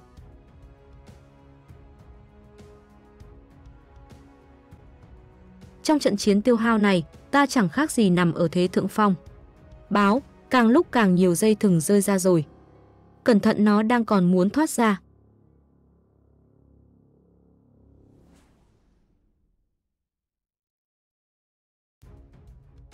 Quái vật này đã càng lúc càng thông minh hơn rồi. Nó đang còn lợi dụng hỏa pháo nổ để thoát ra khỏi khống chế của mũi tên. Báo, Lòng pháo liên tục xạ kích trong nửa khắc rồi, hai lần quá nóng, tiếp tục bắn ra sẽ có nguy hiểm đến lòng súng. Dừng xạ kích. Dọn dẹp lòng súng. Đội sáng nỏ, còn có cung tên nữa không? Gia cố khống chế. Đội sáng nỏ ở phía nam còn có cung tên dư thừa, mau chuẩn bị đi. Phía nam, lên dây. Cẩn thận. Còn muốn dùng thứ này để nhốt ta nữa sao? Muốn tìm chết. Ha ha ha ha. Đã có thể đánh được bọn họ rồi. Phía nam thất thủ, hai đội sàng nỏ toàn bộ đã bị tiêu diệt. Binh chữa trị nhanh đến đây, xuất hiện thương vong. Duy trì sĩ khí. Trọng giáp thuẫn binh thu lại phòng tuyến, liệt trận phòng ngự, bảo vệ sáng nỏ và hỏa pháo.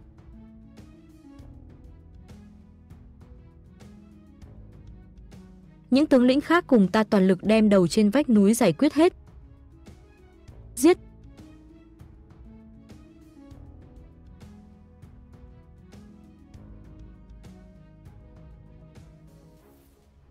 Càng nguy cấp thì càng phải bình tĩnh. Cho dù là đại lôi không ở đây, mình cũng có thể đảm đương một mặt.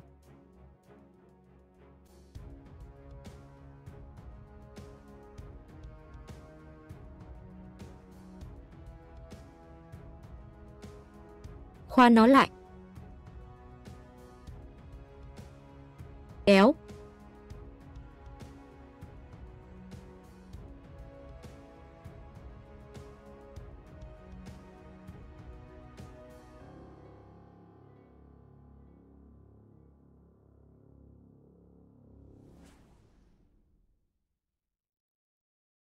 Các huynh đệ, nổ cho ta.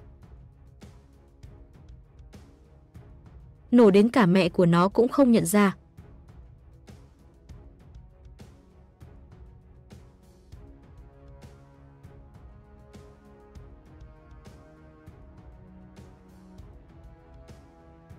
Chiến tích chém đầu của đội hỷ tự, một đầu.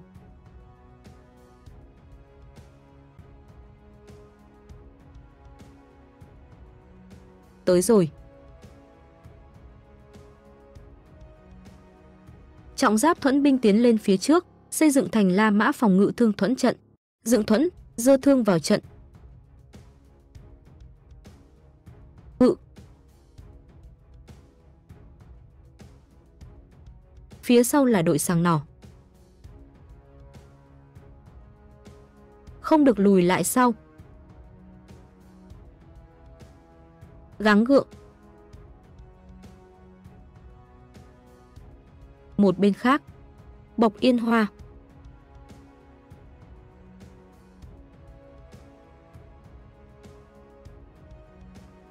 Trực lai trực võng kiếm. Phong hầu. Cái thứ hai. Chiến tích của ẩn nương, chém đầu thứ hai.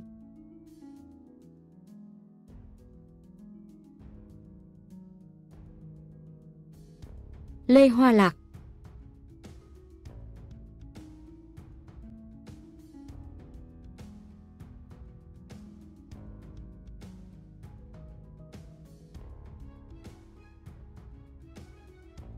Chiến tích của phản Lê Hoa, chém đầu một. Giết. Đem nó đóng lên tường.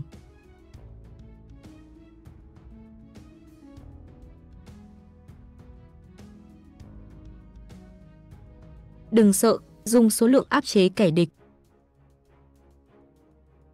Chiến tích của đội ngũ thương mâu binh, chém đầu một.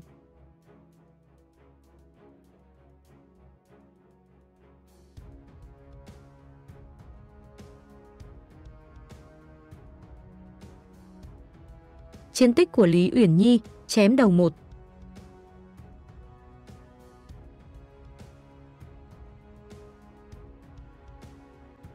Mai Hoa Thương.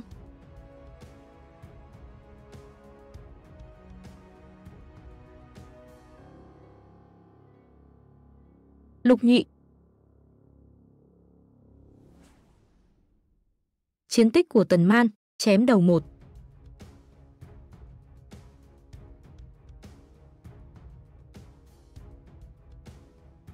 Báo, mục tiêu đang còn thoát ly khống chế đội sáng nỏ, đóng nó lại. Cũng tên của đội sáng nỏ phái Bắc đã toàn bộ cạn kiệt. Sàng nỏ phía Nam đã bị hư. Còn lại là Trung Bộ, còn lại 10 cung tên cuối cùng. Bắn, bắn.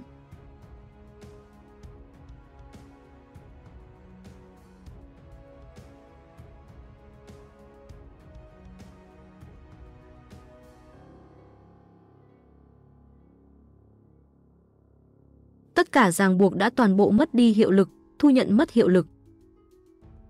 Mục tiêu triệt để thoát rồi. Vứt đầu bỏ chạy. Xong phá bẫy,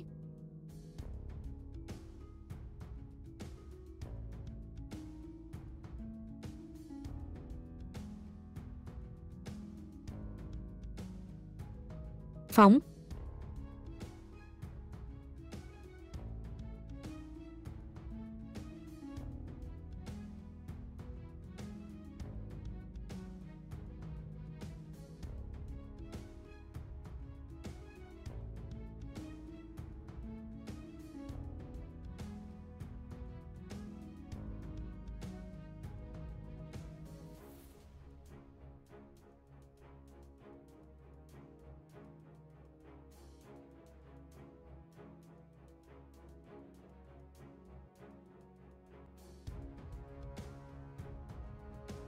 Không với tới.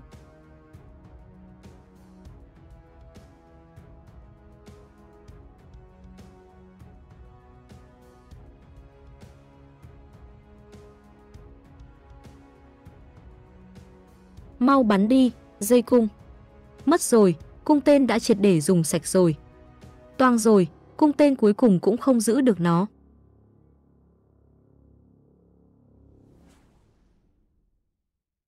Kết quả như vậy, không có đơn giản là thả hổ về rừng như vậy đâu. Lão quái vật cơ bắp và đồng loại đó vẫn chưa ra tay, không thể ở lại đây được nữa. Tướng Liễu bảo thù, 10 năm chưa muộn. Với năng lực học tập của quái vật này, thủ đoạn tương tự đối với nó rất khó mà có tác dụng lần nữa. Hôm nay nếu như bỏ qua cơ hội lần này, sau này gần như là không thể nào bắt được nó nữa. Sau này nó báo thù đào động trong lòng đất đủ để hủy đi căn cơ của một tòa thành. Người nhà, người yêu, huynh đệ bách tính của ta đều sẽ sống những ngày sợ hãi dưới sự uy hiếp của nó. Kết cục như vậy, ta tuyệt đối không cho phép.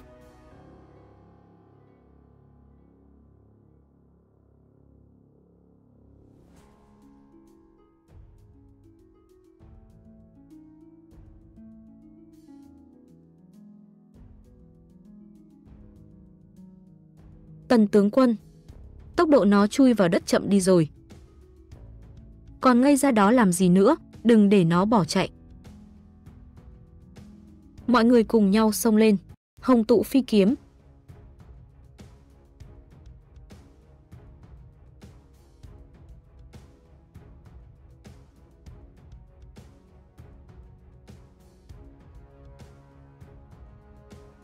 Thân rắn không ngừng di chuyển, muốn đâm gãy thần kinh cuộc sống quá khó rồi.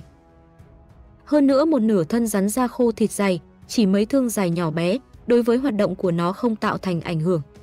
Phần đầu đã chui vào trong đất, không có cơ hội làm nó bị thương, trừ khi đem nó nhổ ra ngoài.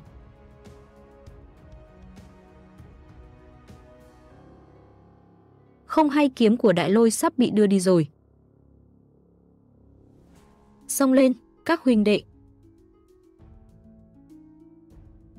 Các huynh đệ tới rồi. Mọi người cùng nhau xông lên, nắm lấy dây thừng. Mọi người, lên! Tần tướng quân, chúng ta đến giúp người một tay.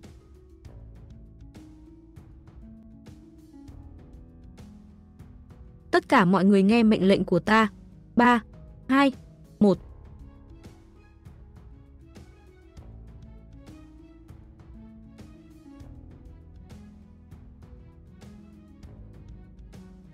Kéo.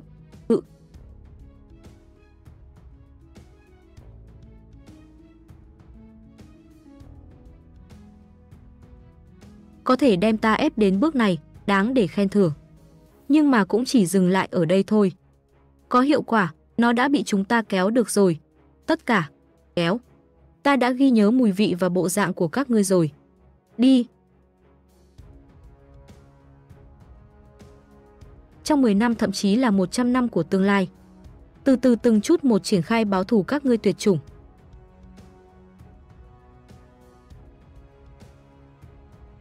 Chưa đến 10 năm, một nửa Lương Châu sẽ triệt để bị ô nhiễm.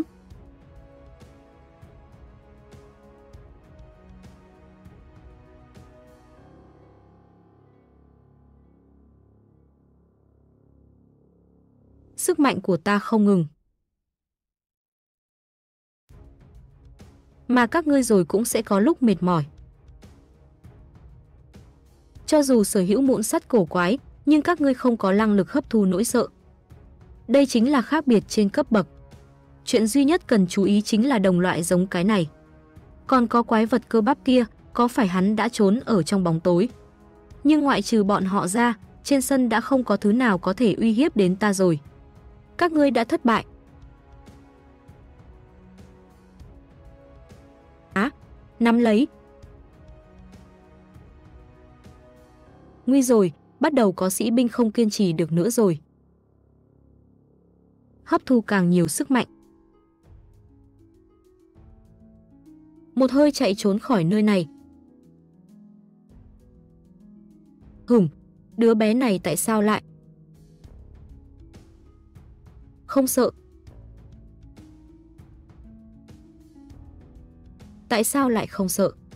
Bởi vì đáng sợ nhất là cái tên sụp đổ đó đã không thể ép ra càng nhiều nỗi sợ hơn, vì thế sớm nhất đã bị ăn rồi. Sau đó đến lượt người yếu ớt, người mê tín, người từ bỏ bản thân, áp bá cạnh tranh. Bọn họ cũng bị loại từ trong đội ngũ. Còn lại đều là kiên trì đến cuối cùng, trong lòng kìm nén một hơi ác khí. Con gái, trong đội ngũ khi có người nhìn thấy hy vọng phản kháng, thì sẽ thử bước vào đó.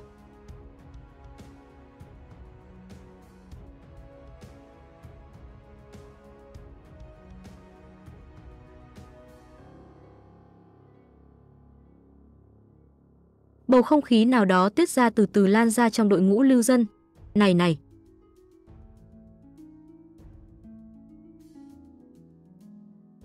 Cuối cùng, trong lòng oán hận và phẫn nộ đè nén từ lâu của nhiều người bộc phát ra ngoài. Bởi vì một cô bé bước ra đầu tiên. Càng nhiều đứa con nít, người lớn đi theo. Tất cả mọi người đều nhớ lại cái gì là dũng khí. Sau đó, từ trên ngọn nguồn cắt đứt ngọn nguồn sức mạnh của thần minh. Nỗi sợ biến mất rồi.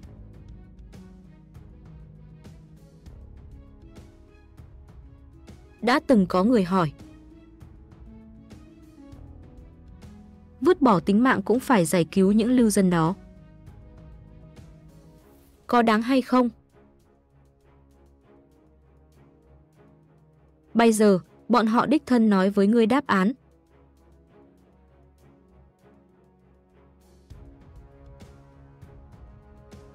Đáng.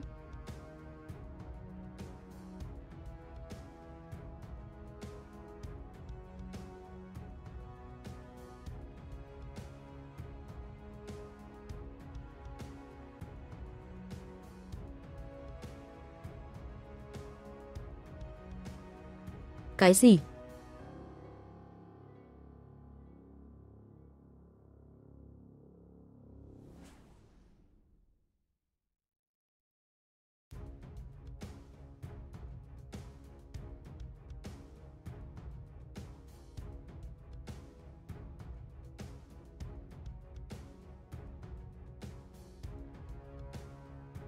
Rút ra được rồi, lần này thì đúng là về làm trả rắn băm viên rồi anh em.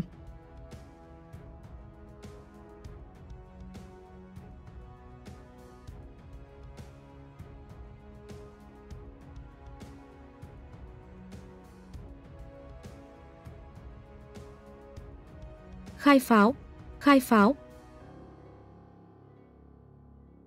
Khai pháo, khai pháo.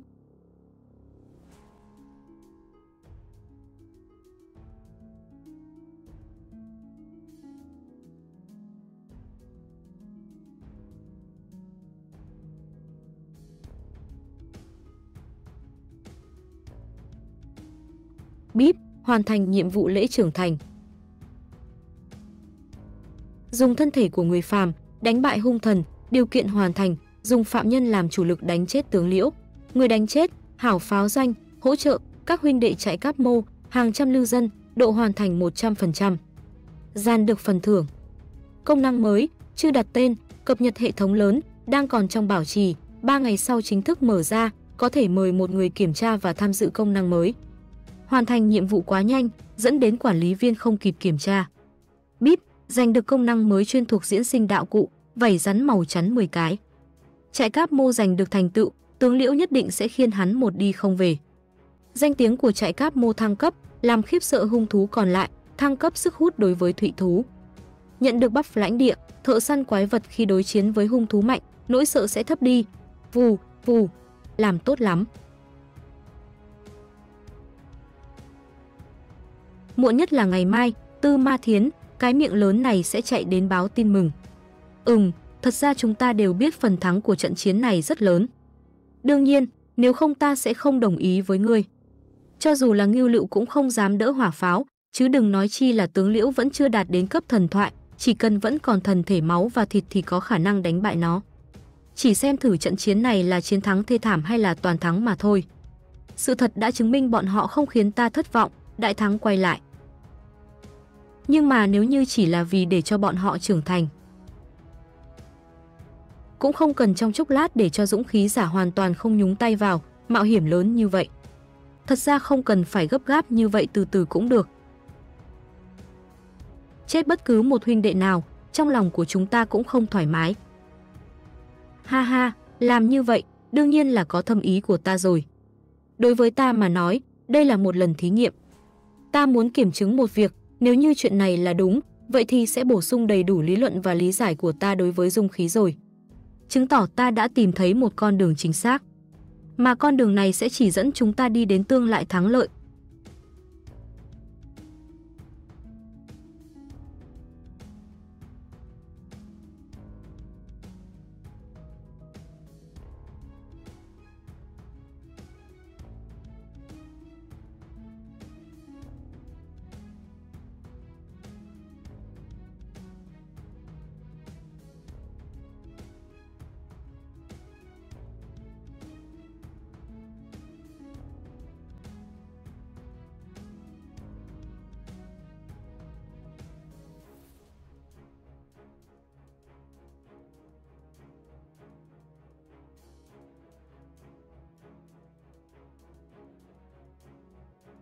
ẩn nương.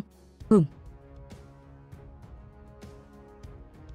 Từ lúc nào mà ngươi dùng kiếm của đại lôi thành thạo như vậy, giống như đã dùng máy chục năm vậy. a ha ha, ta là võ học kỳ tài, học cái gì cũng nhanh. Hửm, vậy sao? Làm lỡ một chút thời gian của mọi người. Xin cho phép ta giới thiệu nữ thần và chúa cứu thế của ta, tâm giáo, ba hoa trích chòe. Pháo sắt lớn kia là tạo vật của nữ thần sao? Nếu như cô ta thật sự là cái gì cũng làm được, vậy tại sao không đến cứu chúng ta sớm hơn? À, cái này, cái này. Hu, đáng ghét, hôm nay lại không kéo được tín đồ vào giáo rồi,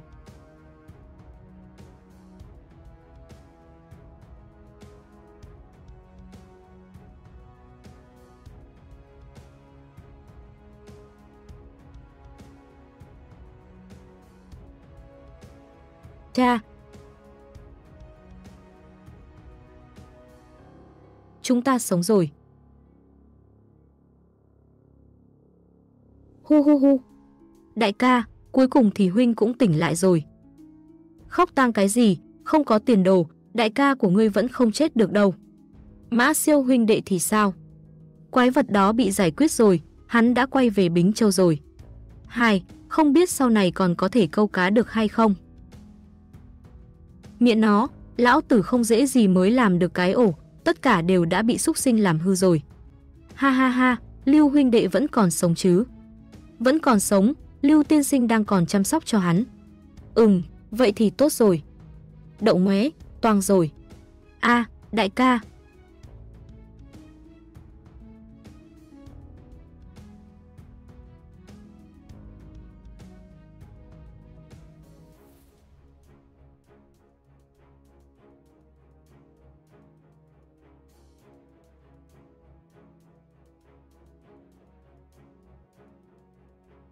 Hi, ngươi, cuối cùng cũng tỉnh lại rồi. Lúc đó ngươi đang chuẩn bị đưa lưu dân vượt qua biên giới, đúng không? Không ngờ lại gặp phải tướng Liễu và Cao Phi Hổ bị nhốt ở đó. Thuốc mà đại đương ra đưa rất thần kỳ, đều có thể cứu được rồi. Mặc dù ngươi chưa chết, nhưng thân thể bị bại liệt, mặc dù độc tố đã bị loại bỏ, nhưng thân thể bị tổn thương nhất thời không thể nào khỏi. Còn có thể cử động không? Ừm, bây giờ ta không cử động được. Không cử động được thì đúng rồi. Bây giờ ta sẽ giải phẫu cho ngươi. Xem thử cái tên bị tiêm lượng lớn chất độc vẫn chưa chết rốt cuộc là có chuyện gì. Kha kha kha kha kha kha. Nhắm mắt chịu đựng một chút, đao pháp của ta rất là dứt khoát. Á,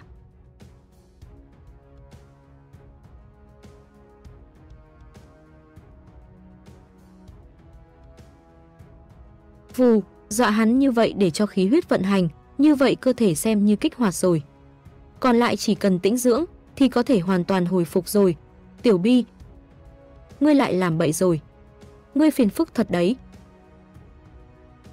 Ừm, chua chua ngọt ngọt, mùi vị chưa nếm thử qua bao giờ, giống như trái cây. Thành phần bên trong rốt cuộc là cái gì vậy?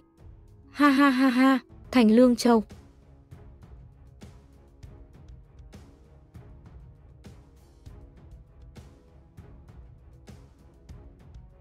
Một, hai, ba, chín, con rắn này mọc ra chín đầu. Ngu xuẩn, nhất định là chín con rắn, trên đời này làm gì có rắn mọc ra chín đầu chứ? Bọn họ ở trên đầu của rắn giải nhiều bột vôi như vậy để làm gì? Để ngâm cho ngấm vị. Ta thấy là để đề phòng sống lại. Này, các ngươi không sợ sao, con rắn lớn như vậy. Sợ cái lông gì, không nhìn thấy tần tướng dẫn đội hay sao?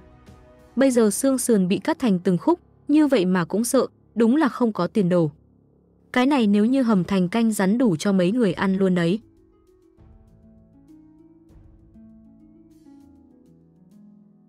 Tần tướng, chúng ta tôn kính ngài. Tần tướng quân.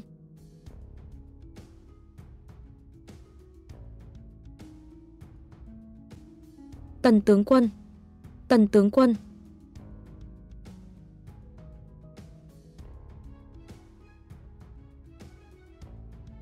Thật đúng là uy phong.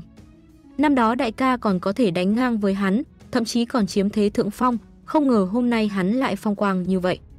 Huynh nói có đúng không đại ca?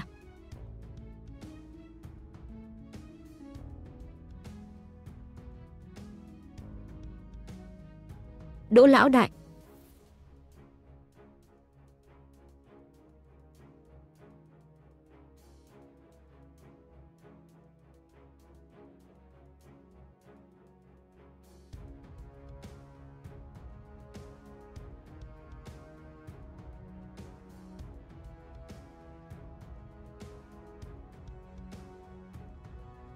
Lưu Bi vậy mà để lại ám ảnh sâu như vậy cho đại ca. Nếu như ban đầu lão đại không bị Lưu Bi làm phai mờ ý chí hoài bão lớn. Nói không chừng bây giờ hắn cũng là một vị đại tướng rồi,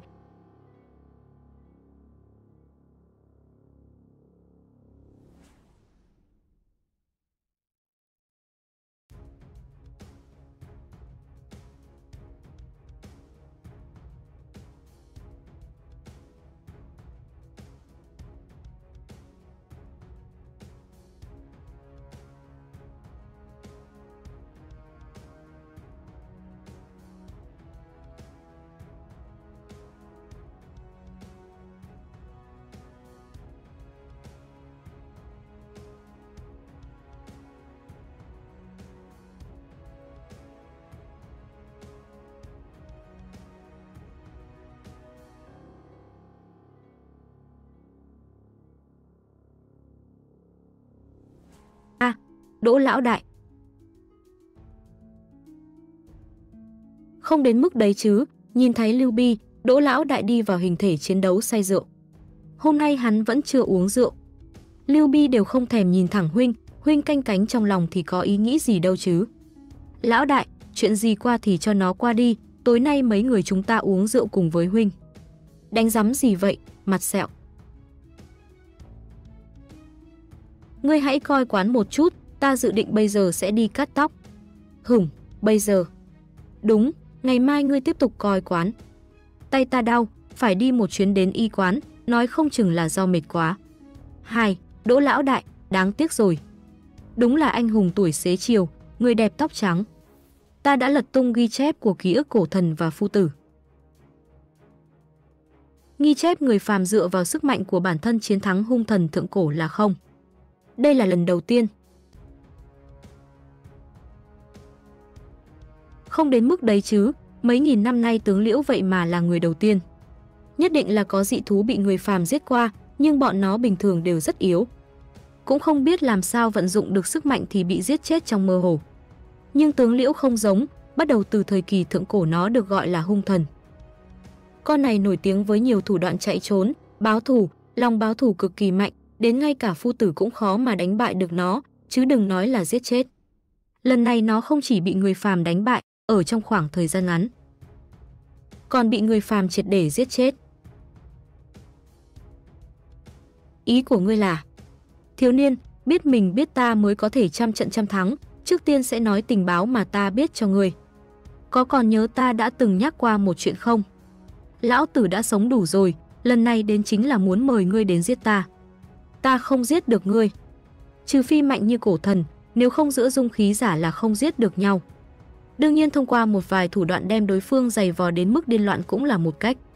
Dung khí giả là không giết chết một dung khí giả khác được. Có còn nhớ ta đã từng nhắc qua một chuyện không? Lão tử đã sống đủ rồi, lần này đến chính là muốn mời ngươi đến giết ta. Ta không giết được ngươi.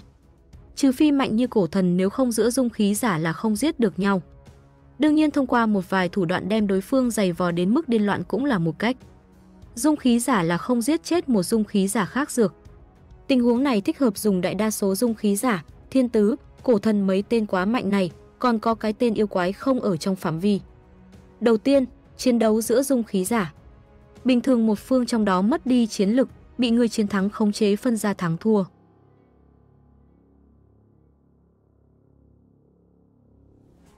Nếu như hai bên phải phân ra sống chết. Người thắng xử trí kẻ thua cuộc sẽ có hai cách. Cách thứ nhất, kẻ thua bị phong ấn. Thời gian dài rằng giặc sẽ khiến cho tất cả mọi người đều quên nó. Đợi đến biển khô đá vỡ, đợi đến khi thư tịch ghi chép hắn đều nát thành cho. Đợi đến khi không có một người nào nhớ đến kẻ thua cuộc, nó sẽ mất đi cứu tế của sức mạnh. Sau đó sức mạnh trong cơ thể cạn kiệt thì thật sự sẽ chết đi. Quá trình này cần phải duy trì rất lâu, rất lâu. Cụ thể là phải xem mức độ mạnh của kẻ thua cuộc và ý chí cầu sinh của hắn. Có một vài tên ở trong nhân gian để lại ác danh thiên cổ, thậm chí có thể ngủ sau nghìn năm mà không chết. Vì thế cần chuyên môn đi dân gian tiêu diệt dấu vết mà nó để lại. Theo như ghi chép của phu tử, tần triều đốt sách chống nho, nho ra gạt bỏ bách ra, độc tôn nho. Lý Man Tử hóa thân quốc vận trấn áp thiên hạ, thư viện ra tay xóa bỏ lịch sử của 19 quốc gia, đều là dùng cách này để giết chết dung khí giả. Cách thứ hai, người chiến thắng dùng các loại thủ đoạn làm phai mờ sức mạnh của kẻ thua cuộc tăng nhanh quá trình này, VID dụ như thể xác bị dày vò, vứt vào dung nham, nướng lên. Như vậy kẻ thua cuộc bình thường sẽ có hai kết cục. Kết cục thứ nhất, bị dày vò tâm trí triệt để sụp đổ, bản thân hắn vẫn một lòng tìm chết. Sau đó dung khí sẽ trả lời lại nó, khiến cho sức mạnh tàn đi, kẻ thua cuộc chính là sẽ triệt để chết đi. Kết cục thứ hai, kẻ thua cuộc bị dày vò, ý chí cầu sinh cực kỳ mạnh. Ta vẫn không muốn chết.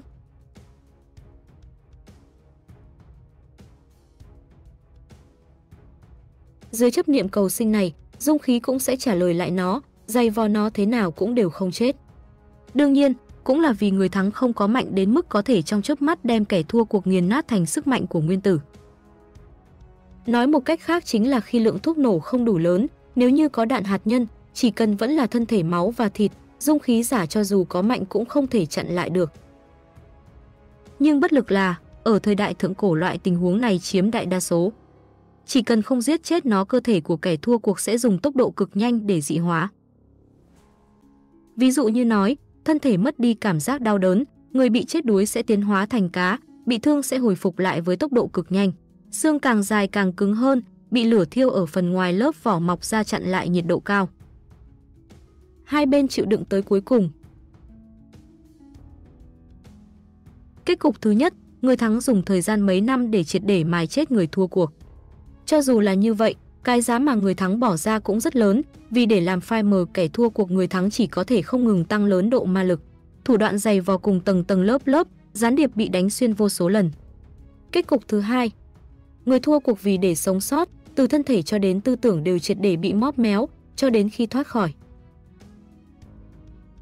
Một khi đến bước này, tình cảm của kẻ thua cuộc cũng đã biến mất hết, chỉ còn lại phẫn nộ và oán hận vô tận đối với thế giới. Sau khi ra ngoài hắn cũng sẽ đem cả thế giới xe là kẻ thù. Đây chính là nguyên nhân vô số ta ma hoành hành ở niên đại hắc ám. Thôi Lộng Hải Thiên Tứ là muốn nuôi dưỡng một tà ma để bản thân hắn sử dụng. Ta sớm đã đem sức mạnh của tiên nhân tan vào trong xương cốt, cùng tồn tại với linh hồn. Cho dù là gọt đi lớp da thịt, cắt đứt nội tạng, đem đại não khuấy thành bột ta cũng sẽ không chết. 9 tuổi giết người 15 tuổi rời khỏi Lương Châu, đồ sát dân thường, bị người giang hồ vây quanh tấn công, sau đó là được thôi tướng cứu về. Môn phái bắt ngươi sau một đêm bị hủy diệt. Thôi tướng mỗi năm mua lượng lớn dân thường để cho ngươi tàn sát làm niềm vui cho đến bây giờ. Có lẽ là vậy. Tâm, ngươi cảm thấy thiên tứ là đối thủ ở tầng cấp gì? Truyền thuyết hay là thần thoại? Ừm, với hệ thống đẳng cấp mà ta xây dựng để đánh giá, thiên tứ là cấp thần thoại. Thần thoại không phải là truyền thuyết sao? Cấp truyền thuyết đại diện là phương diện nào đó vượt qua phàm tục, cho dù chỉ có sức mạnh tự chữa lành siêu thường cũng có thể đánh giá là truyền thuyết.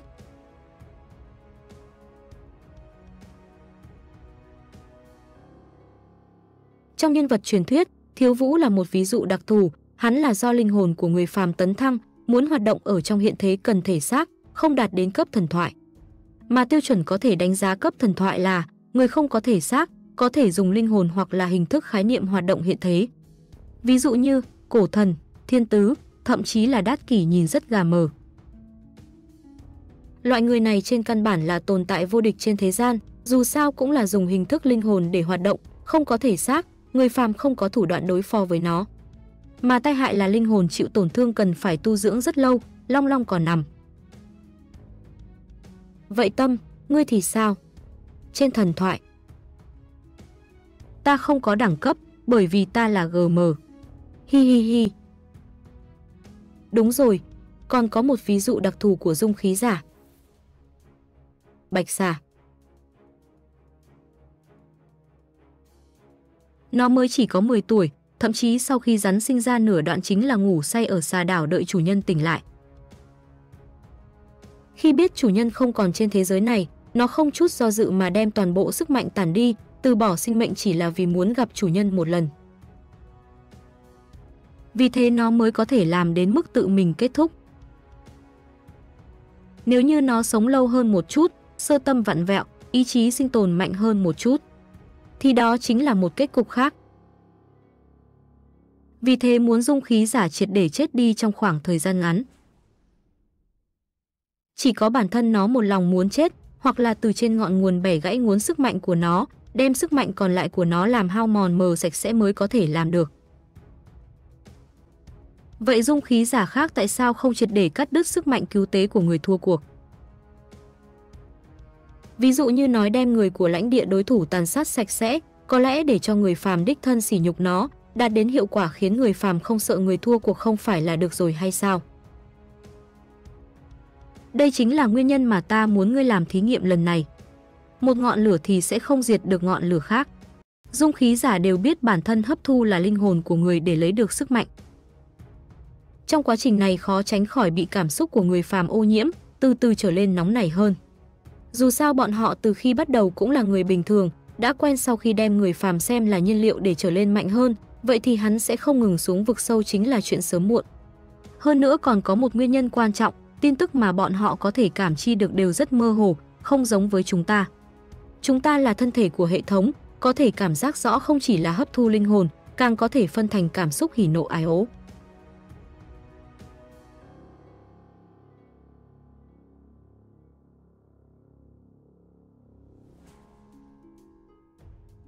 Có thể khi bản thân cảm nhận được hấp thu cảm xúc mà hỉ nộ ái ố đem tới. Nếu như khoảng cách đủ gần, không những có thể cảm giác được giá trị sợ hãi lấy được từ trên người của ai, thậm chí là có thể biết rõ chỉ số. Nói một cách khác, bọn họ giống như bị bịt mắt lại ăn cơm, thậm chí không có vị giác, không có khứu giác, chỉ có thể ăn ngấu nghiến. Cho dù là cay đến mức không biết là tại sao, còn đùa dai cách ăn và nghi thức kỳ lạ. Không sai, chúng ta thử ra được mùi vị, mùi vị chua ngọt đắng cay, biết cái gì nên ăn, cái gì không nên ăn. Cái này gọi là khoảng cách trên cấp bậc, hừ hừ. Đương nhiên ở lịch sử dài rằng giặc cũng không thiếu có người phát giác được cảm xúc có thể hấp thu không chỉ là một loại giá trị sợ hãi. Ví dụ như nhiều tiên hiền của loài người. Bọn họ ở thời đại bóng tối xây dựng từng bộ lạc tành bang vì để bảo vệ người phàm và đối kháng lại với nhiều tà ma. Ví dụ như Phu Tử và Lý Man Tử. Phu Tử hấp thu là tình nghĩa sư đồ trong khắp thiên hạ. Lý Man Tử hấp thu là tinh thần dâng hiến, tình cảm bách tính sùng bái của quan viên vì quốc vì dân. Bọn họ có thể tìm một con đường phiền phức lại gian khổ hơn trong thế giới dùng để giết người và trở lên mạnh hơn và kiên trì tới cùng. Nói thật, ta rất bái phục bọn họ có thể có được giác ngộ như vậy. Nhưng cho dù giác ngộ như thế nào, trước khi chúng ta xuất hiện, không ai có thể giải được nút thắt mà dung khí mang tới. Nút thắt này chính là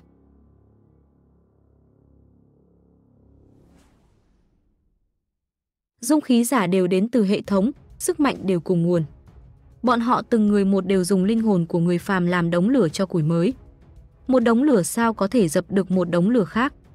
Người thắng lấy được sức mạnh hấp thu từ trên người phàm, sẽ phân ra một phần nhỏ, bị kẻ thua cuộc hấp thu. Cũng chính là, người thắng càng mạnh, người thua cũng sẽ càng khó chết. Mà những cái này, ngoại trừ chúng ta ra, tất cả dung khí giả đều không cảm giác được, vì vậy muốn cắt đứt ngọn nguồn sức mạnh của kẻ thua cuộc, sao có thể làm được? Thì ra là như vậy. Chả trách ngươi lại muốn các huynh đệ bản thân phải chiến thắng tướng Liễu.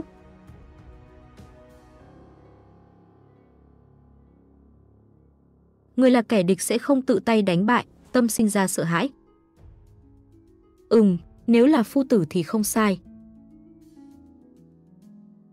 Dung khí giả quả thật là không giết chết được dung khí giả. Nhưng mà, người phàm thì được. Tránh xa một chút mà nhìn, nghiêm cấm phát đồ ăn.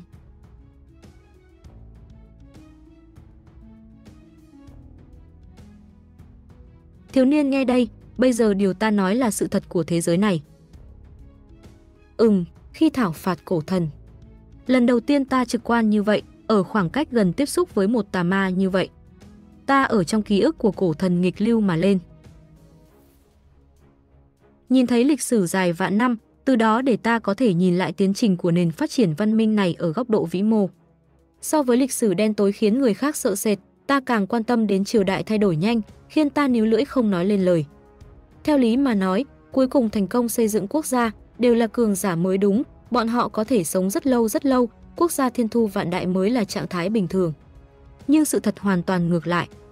Cho dù cây dựng nhiều quốc gia huy hoàng như vậy hình thành lên trật tự xã hội và bố cục thế giới mới, quốc gia này đều sẽ bị lật đổ trong 100 năm, thậm chí là quay lại thời đại bóng tối.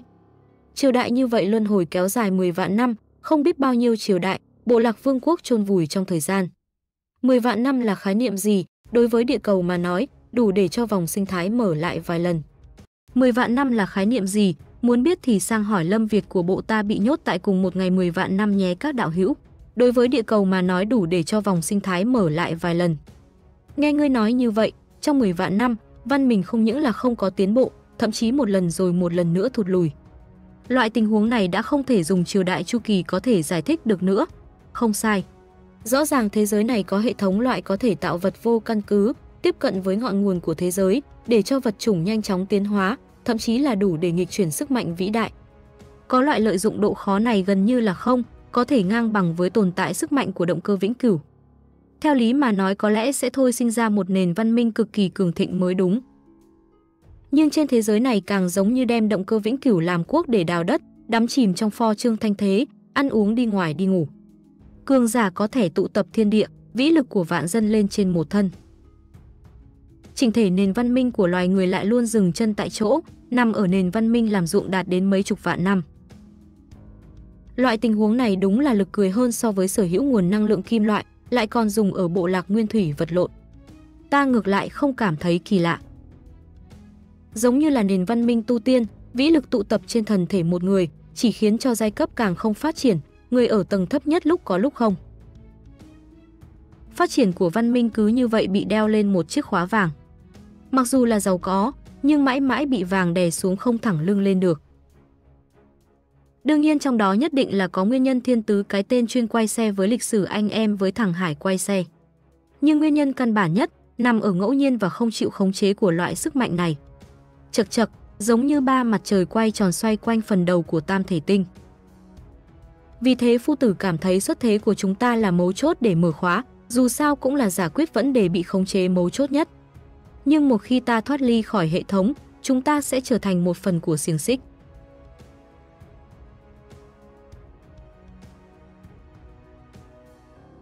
Thậm chí biến chất của ta còn đáng sợ hơn cả biến chất của dung khí giả, đủ để hủy hoại cả thế giới.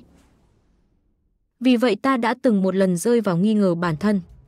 Thế giới này có sức mạnh của hệ thống tốt hơn hay là không có thì sẽ tốt hơn?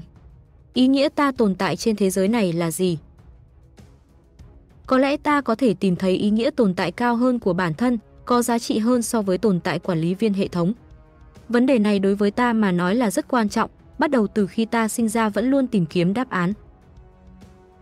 Cho đến khi, trong không gian cổ thần ta và Tống Bá Khang có một cuộc đối thoại, ta đã miêu tả lại phiền toái của bản thân với hắn. Hắn là người phàm nhưng lại mơ mộng muốn đem cổ thần để bản thân sử dụng, để ta phát giác được một điểm mù.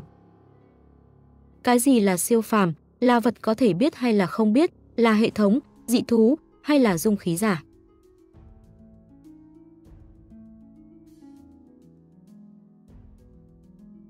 Đều không phải.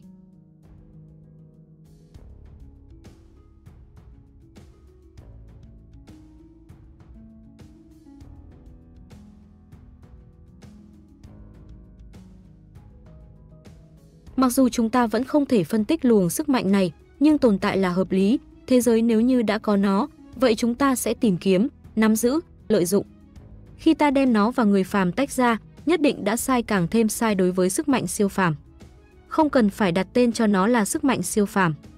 Nó chỉ là quy luật tự nhiên trên thế giới này. Giống như kinh lôi,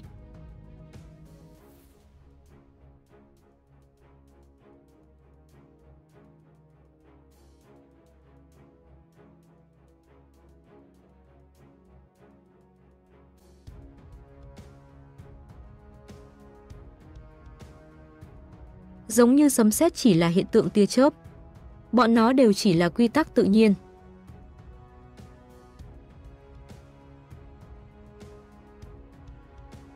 Vì thế ý ngươi nói, nếu như đã là quy tắc, vậy thì chỉ cần đi học hỏi và tìm kiếm, quy luật này có thể bị người bình thường nhận biết và lợi dụng. Dạy ta chiêu này, không sai.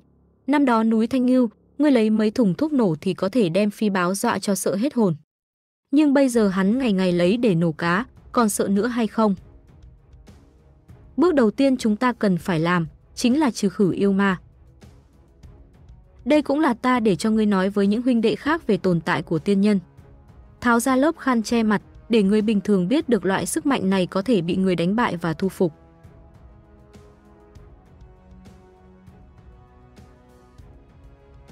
Đây mới là ý nghĩa lớn nhất của lễ trưởng thành lần này.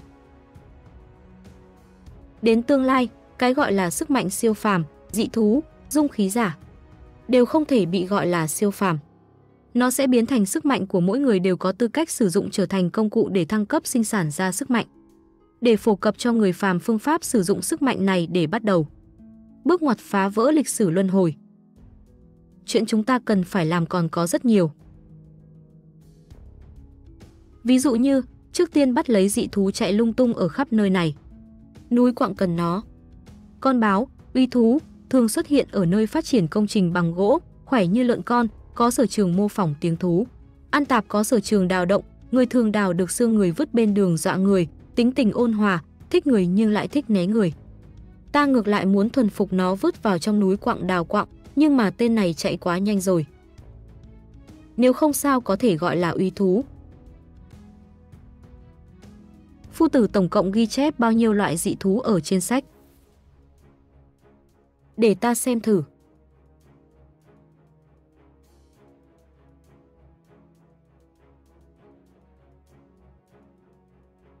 Dị thú rõ ràng tổng cộng là 469 loại, mà sinh vật kỳ lạ chưa từng chứng thực có hơn một vạn loại.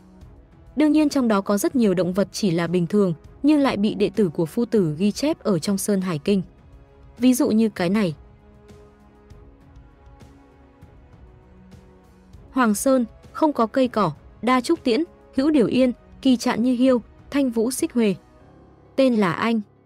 Đây không phải là anh Vũ, vẹt hay sao? Còn có một con chim kỳ lạ tên là Liên Hoa Điểu có 10 cái chân, nhưng trên thực tế nó đem con chim nhỏ giấu ở dưới lông vũ. Vì thế trên Sơn Hải Kinh cũng có ghi chép rất nhiều loại động vật bình thường.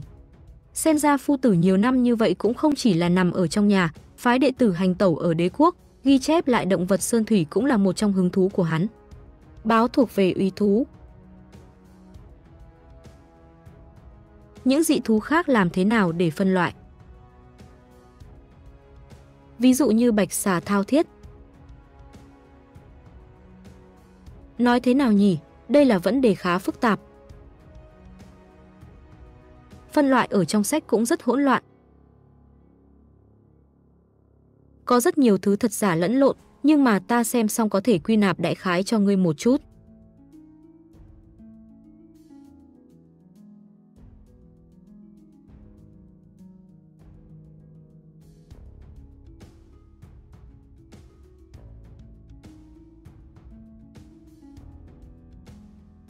Nào nào nào, tiết học sinh vật của cô giáo Tâm bắt đầu, Thi Niên phải nghe kỹ nhé, nhìn giống cô giáo Thảo quá, anh em nào biết cô giáo Thảo không nhỉ? Khà khà khà.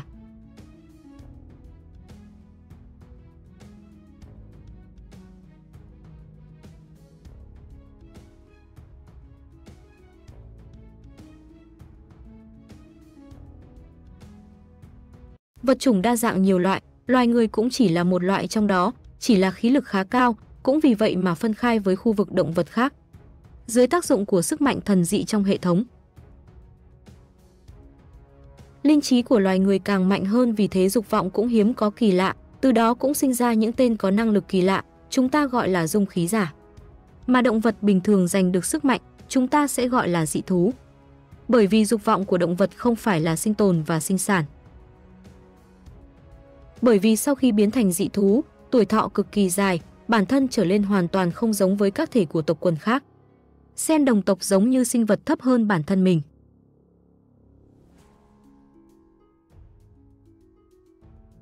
Vì thế sau khi tuổi thọ trở lên dài hơn, bản năng sinh sản của dị thú có thể dần dần biến mất. Lần trước đánh nhau thua rồi, lần này ta phải trở lên mạnh hơn, dị tính chỉ làm ảnh hưởng đến tốc độ ta đánh nhau với ăn cơm.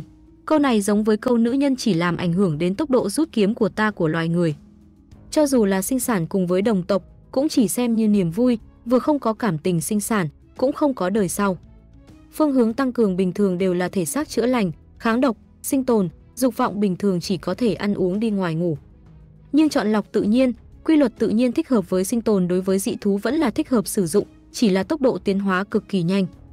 Cũng chính là nói, dựa theo tập tính đồ ăn còn có các nhân tố như trải nghiệm của bản thân, tính cách, mức độ mở ra linh trí. Dị thú sẽ phân thành chủng loại không giống nhau.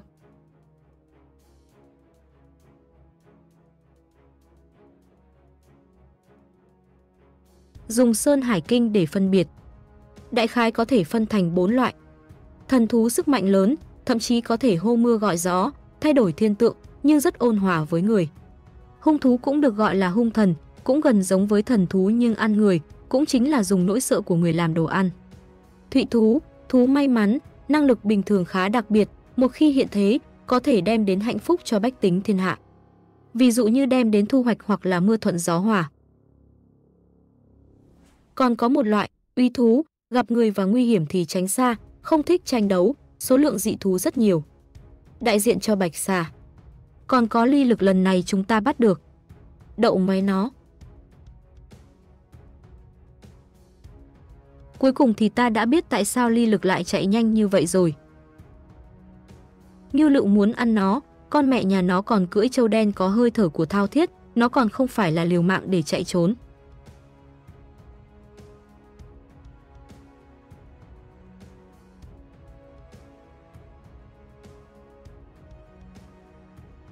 đạt đến thỏa thuận.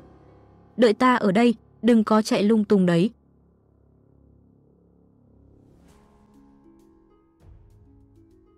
Trình Đại Lôi một mình đi tìm ly lực.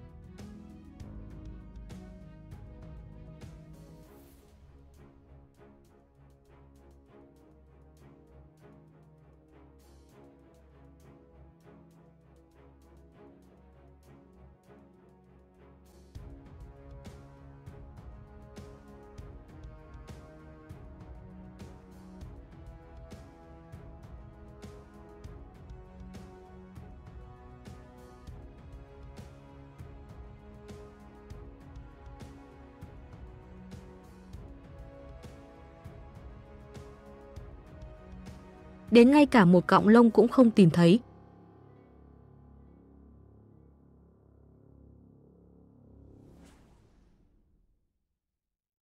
Ư, đáng ghét.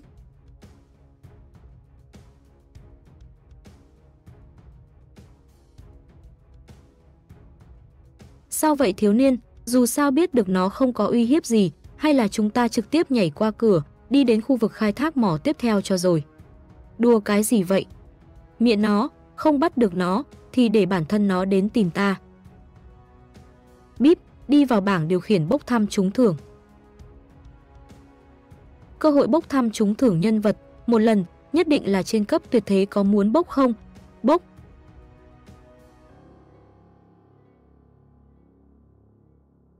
Bíp, nhận được cấp truyền thuyết. Ủa, ta trúng rồi, là dị thú cấp truyền thuyết. Mọi người xem đến đây xin hãy ấn đăng ký kênh, ấn like. Ồ, chu chu dị thú, chắc chắn là không sai rồi. Ta là ai? Bíp, nhận được chư chư thụy thú cấp truyền thuyết.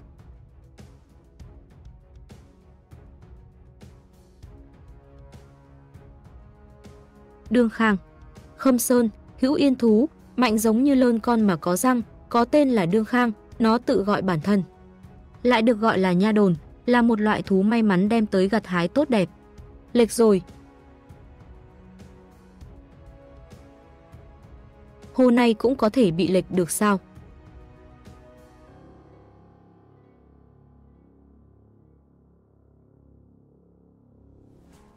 Ngưu lựu đột nhiên cảm giác, sởn gai ốc. Lão đại chúng ta quay lại rồi. Một tin tốt, còn có một tin xấu. Tin tốt là thắng rồi sao? Không làm nhục mệnh, đại thắng quay về. Vậy tin cấu thì sao? Ở khắp nơi Lương Châu có máu độc. Có lưu dân nhận ủy thác của người, đem độc huyết đưa vào trong phạm vi của Lương Châu, và trong thời gian đêm khuya bỏ độc vào nguồn nước và ruộng vườn. Ruộng vườn của phía nam Lương Châu.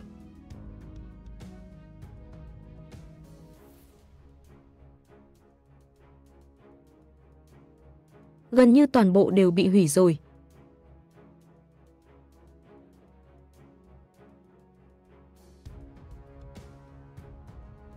Điều tra tin tức Máu độc của tướng Liễu, cấp tuyệt thế, vật phẩm chưa phân loại, một giọt đủ để cho đất cỏ một trượng xung quanh hóa thành đất cát. Chính sách đất khô cằn. Thiêu hư cây nông nghiệp để hủy hoại nguồn đồ ăn của kẻ địch. Ta biết mọi chuyện không có đơn giản như vậy. Tướng Liễu chỉ là yểm hộ, sát chiêu thật sự chính là máu độc. Nhưng mà máu độc này có lẽ là còn có tác dụng khác. Phối hợp với vôi sống sử dụng, đây không phải chính là thuốc diệt cỏ trong phạm vi có thể khống chế hay sao? Bíp, cập nhật tiến độ nhiệm vụ. Tìm thấy thuốc diệt cỏ cường lực, máu độc của tướng Liễu phối với vôi sống. Mức độ tai hại thế nào? Không hoàn toàn thống kê được, ruộng đất ở phía nam của thành Cáp Mô đã bị hủy đi mấy nghìn mẫu. Mọi người đang còn toàn lực cứu tế. Đáng để chúc mừng là sớm đã thu hoạch vụ thu, lương thực của bách tính cũng xem là đầy đủ, nhưng đất đai bị thiên tai không có cách nào cày lại. Mà phía bắc của thành Cáp Mô là dụng thử nghiệm quan trọng, vệ binh ngày đêm tuần tra. Trước khi nội gián nẻn vào thì đã phát hiện vấn đề, kịp thời gia tăng thủ vệ, không có tổn thất. Bây giờ lời đồn ôn dịch ở Lương Châu lan truyền nhanh, bách tính lo lắng bất an. Nếu như không kịp thời xử lý, e là sẽ ảnh hưởng đến số người đi vào. Bíp, Lương Châu xuất hiện lời đồn ôn dịch, số người đi vào đã giảm xuống. Bíp, 1 phần 3 dụng vườn bị hủy. Sản lượng lương thực năm sau giảm xuống 30%. Dụng bị hủy thì hủy rồi, mùa xuân bắt đầu khai hoang lại. Chi bằng mượn cơ hội này đem bách tính dẫn đến nơi định cư của thành Cáp Mô. Chuyện này giao cho nội chính phủ làm, Tư Mã Thiến ngươi phụ trách xử lý lời đồn, còn nữa phải điều tra rõ ràng nguồn gốc của lời đồn. Khi cần thiết, ẩn nương, đem cái tên tung ra lời đồn giết luôn đi. Được, không thành vấn đề. Đúng rồi lão đại, còn có một chuyện. hùng Lưu Bi muốn hỏi người, đan giải độc có phối phương không, có thể sản xuất được không? Không làm dược, đây là tiên nhân tặng, ít nhất giai đoạn hiện tại vẫn chưa có năng lực phục chế nó. Nói thật nếu như không phải thứ này thời hạn sử dụng quá ngắn, thật ra ta muốn để tướng lĩnh xuất chiến đều đem theo mấy viên. Trận chiến của tướng Liễu, chết bao nhiêu người. xuất chiến 1.000 người, tổn thất 10 người, thương nặng 100 người, đại thắng. Rất nhiều người mặc dù dính phải máu độc, chỉ cần kịp thời dùng vôi sống lau đi và uống đan giải độc, nhiều nhất vệt sẹo bị ăn mòn ở trên da để lại, tính mạng thì không sao. Có một vài binh sĩ thậm chí dùng sẹo làm vinh dự, làm huy chương chiến thắng tướng Liễu. Người bị thương nặng nhất là Cao Phi Hổ và Lưu Hương Phục tiên sinh vừa mới gia nhập, xương cốt của bọn họ đều bị gãy hơn một nửa rồi. Phi Hổ chặt đứt tay trái, sau này có thể không lên chiến trường được nữa. Tiền cứu trợ phải phát đúng chỗ, còn về Phi Hổ. Bíp, đi vào cửa hàng hệ thống. Đổi bản đồ trang bị cấp tuyệt thế. Bíp, giá trị nỗi sợ giảm đi 300 vạn người. Tay chân giả của người vùng vẫy. Có thể dùng sợi tơ khống chế ngón tay. Bản đồ tay chân giả này giao lại cho xưởng sắt thép. Được. Lão đại, còn có chuyện gì khác nữa không? Không có thì ta đi trước đây. Vội vàng như vậy. Không có chuyện vui để xem, ta ở lại làm cái gì. Hơn nữa, sắp đến giao thừa rồi, ta cần phải về hạnh hoa lĩnh đón Tết. Hửm, lão đại, có phải ngươi đã quên chuyện đồng ý với ta rồi không? Chuyện gì? Nương tử quân. Ngươi đã đồng ý với ta là một nhánh nương tử quân chấn thủ hạnh hoa lĩnh. Đều đã qua một năm rồi, cái gì cũng không nhìn thấy.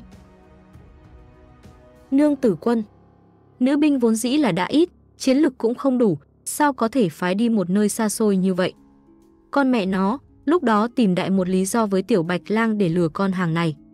Trôi qua lâu như vậy, vậy mà vẫn còn nhớ. Tiểu tử thối, có phải ngươi muốn quỵt nợ của bà đây hay không? Ta bảo đát kỷ bảo vệ hanh hoa lĩnh, vẫn không đủ sao. Năng lực và lực chiến đấu của cô ta còn mạnh hơn cả nương tử quân. Như vậy thì không giống.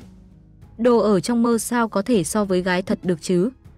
Tư Mã Thiến, ngươi đừng cho rằng nữ binh đều là những cô nương xinh đẹp giống như Lê Hoa. Tỷ muội tham quân từng người một đều là những cô gái cao lớn thô kệch, cánh tay còn thô hơn cả chân của ngươi, nếu không sao có thể lên trận giết kẻ địch được. Để đát kỷ cho cô nằm xuân mộng, cũng không tốt hơn nương tử quân. A, a, a, a, e hèm, không nói chuyện này nữa, ẩn nương, tư mã thiến, bên chỗ của ta còn thiếu người. Giúp ta bắt một con chuột.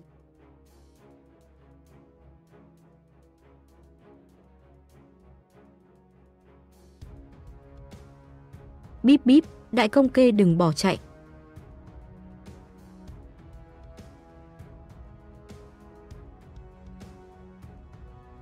Chạy đi đâu? Hự hự hự hự.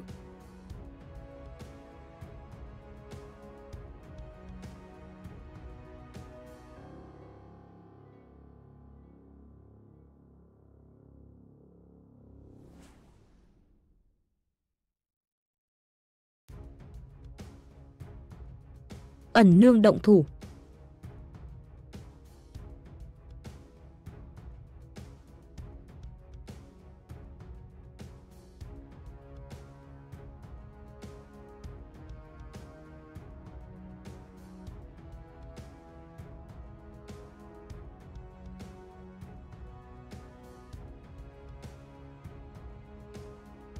Thành công rồi.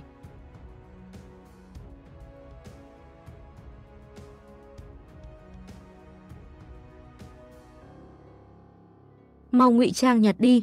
Hửm, tra tin tức. Đây không phải là sóc chuột sao? Tên, ly lực, uy thú cấp truyền thuyết có chút danh tiếng, tuổi tác, dị thú không có thói quen nhớ tuổi, kỹ năng, đào quạng, ngụy trang, mô phỏng tiếng gào của nhân thú, chạy trốn cấp tốc, giả thần giả quỷ, thuộc tính ẩn giấu không có, trải nghiệm, sau khi giành được sức mạnh thể hình biến dị, bị đuổi ra khỏi tộc quần, sóc chuột bỏ đàn. Trên sách nói trông giống như heo, cái này cũng không giống cho nắm. Ta ngược lại nghe nói cách gọi khác của sóc chuột là tuyết chư, Có thể là đến từ như vậy.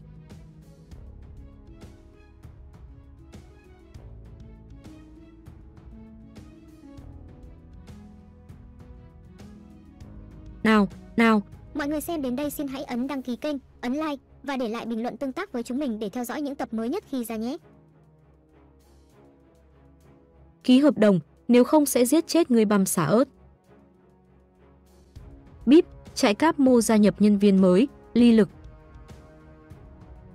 Đêm hôm đó, con chuột lớn thật. Đây chính là quái vật làm loạn sao?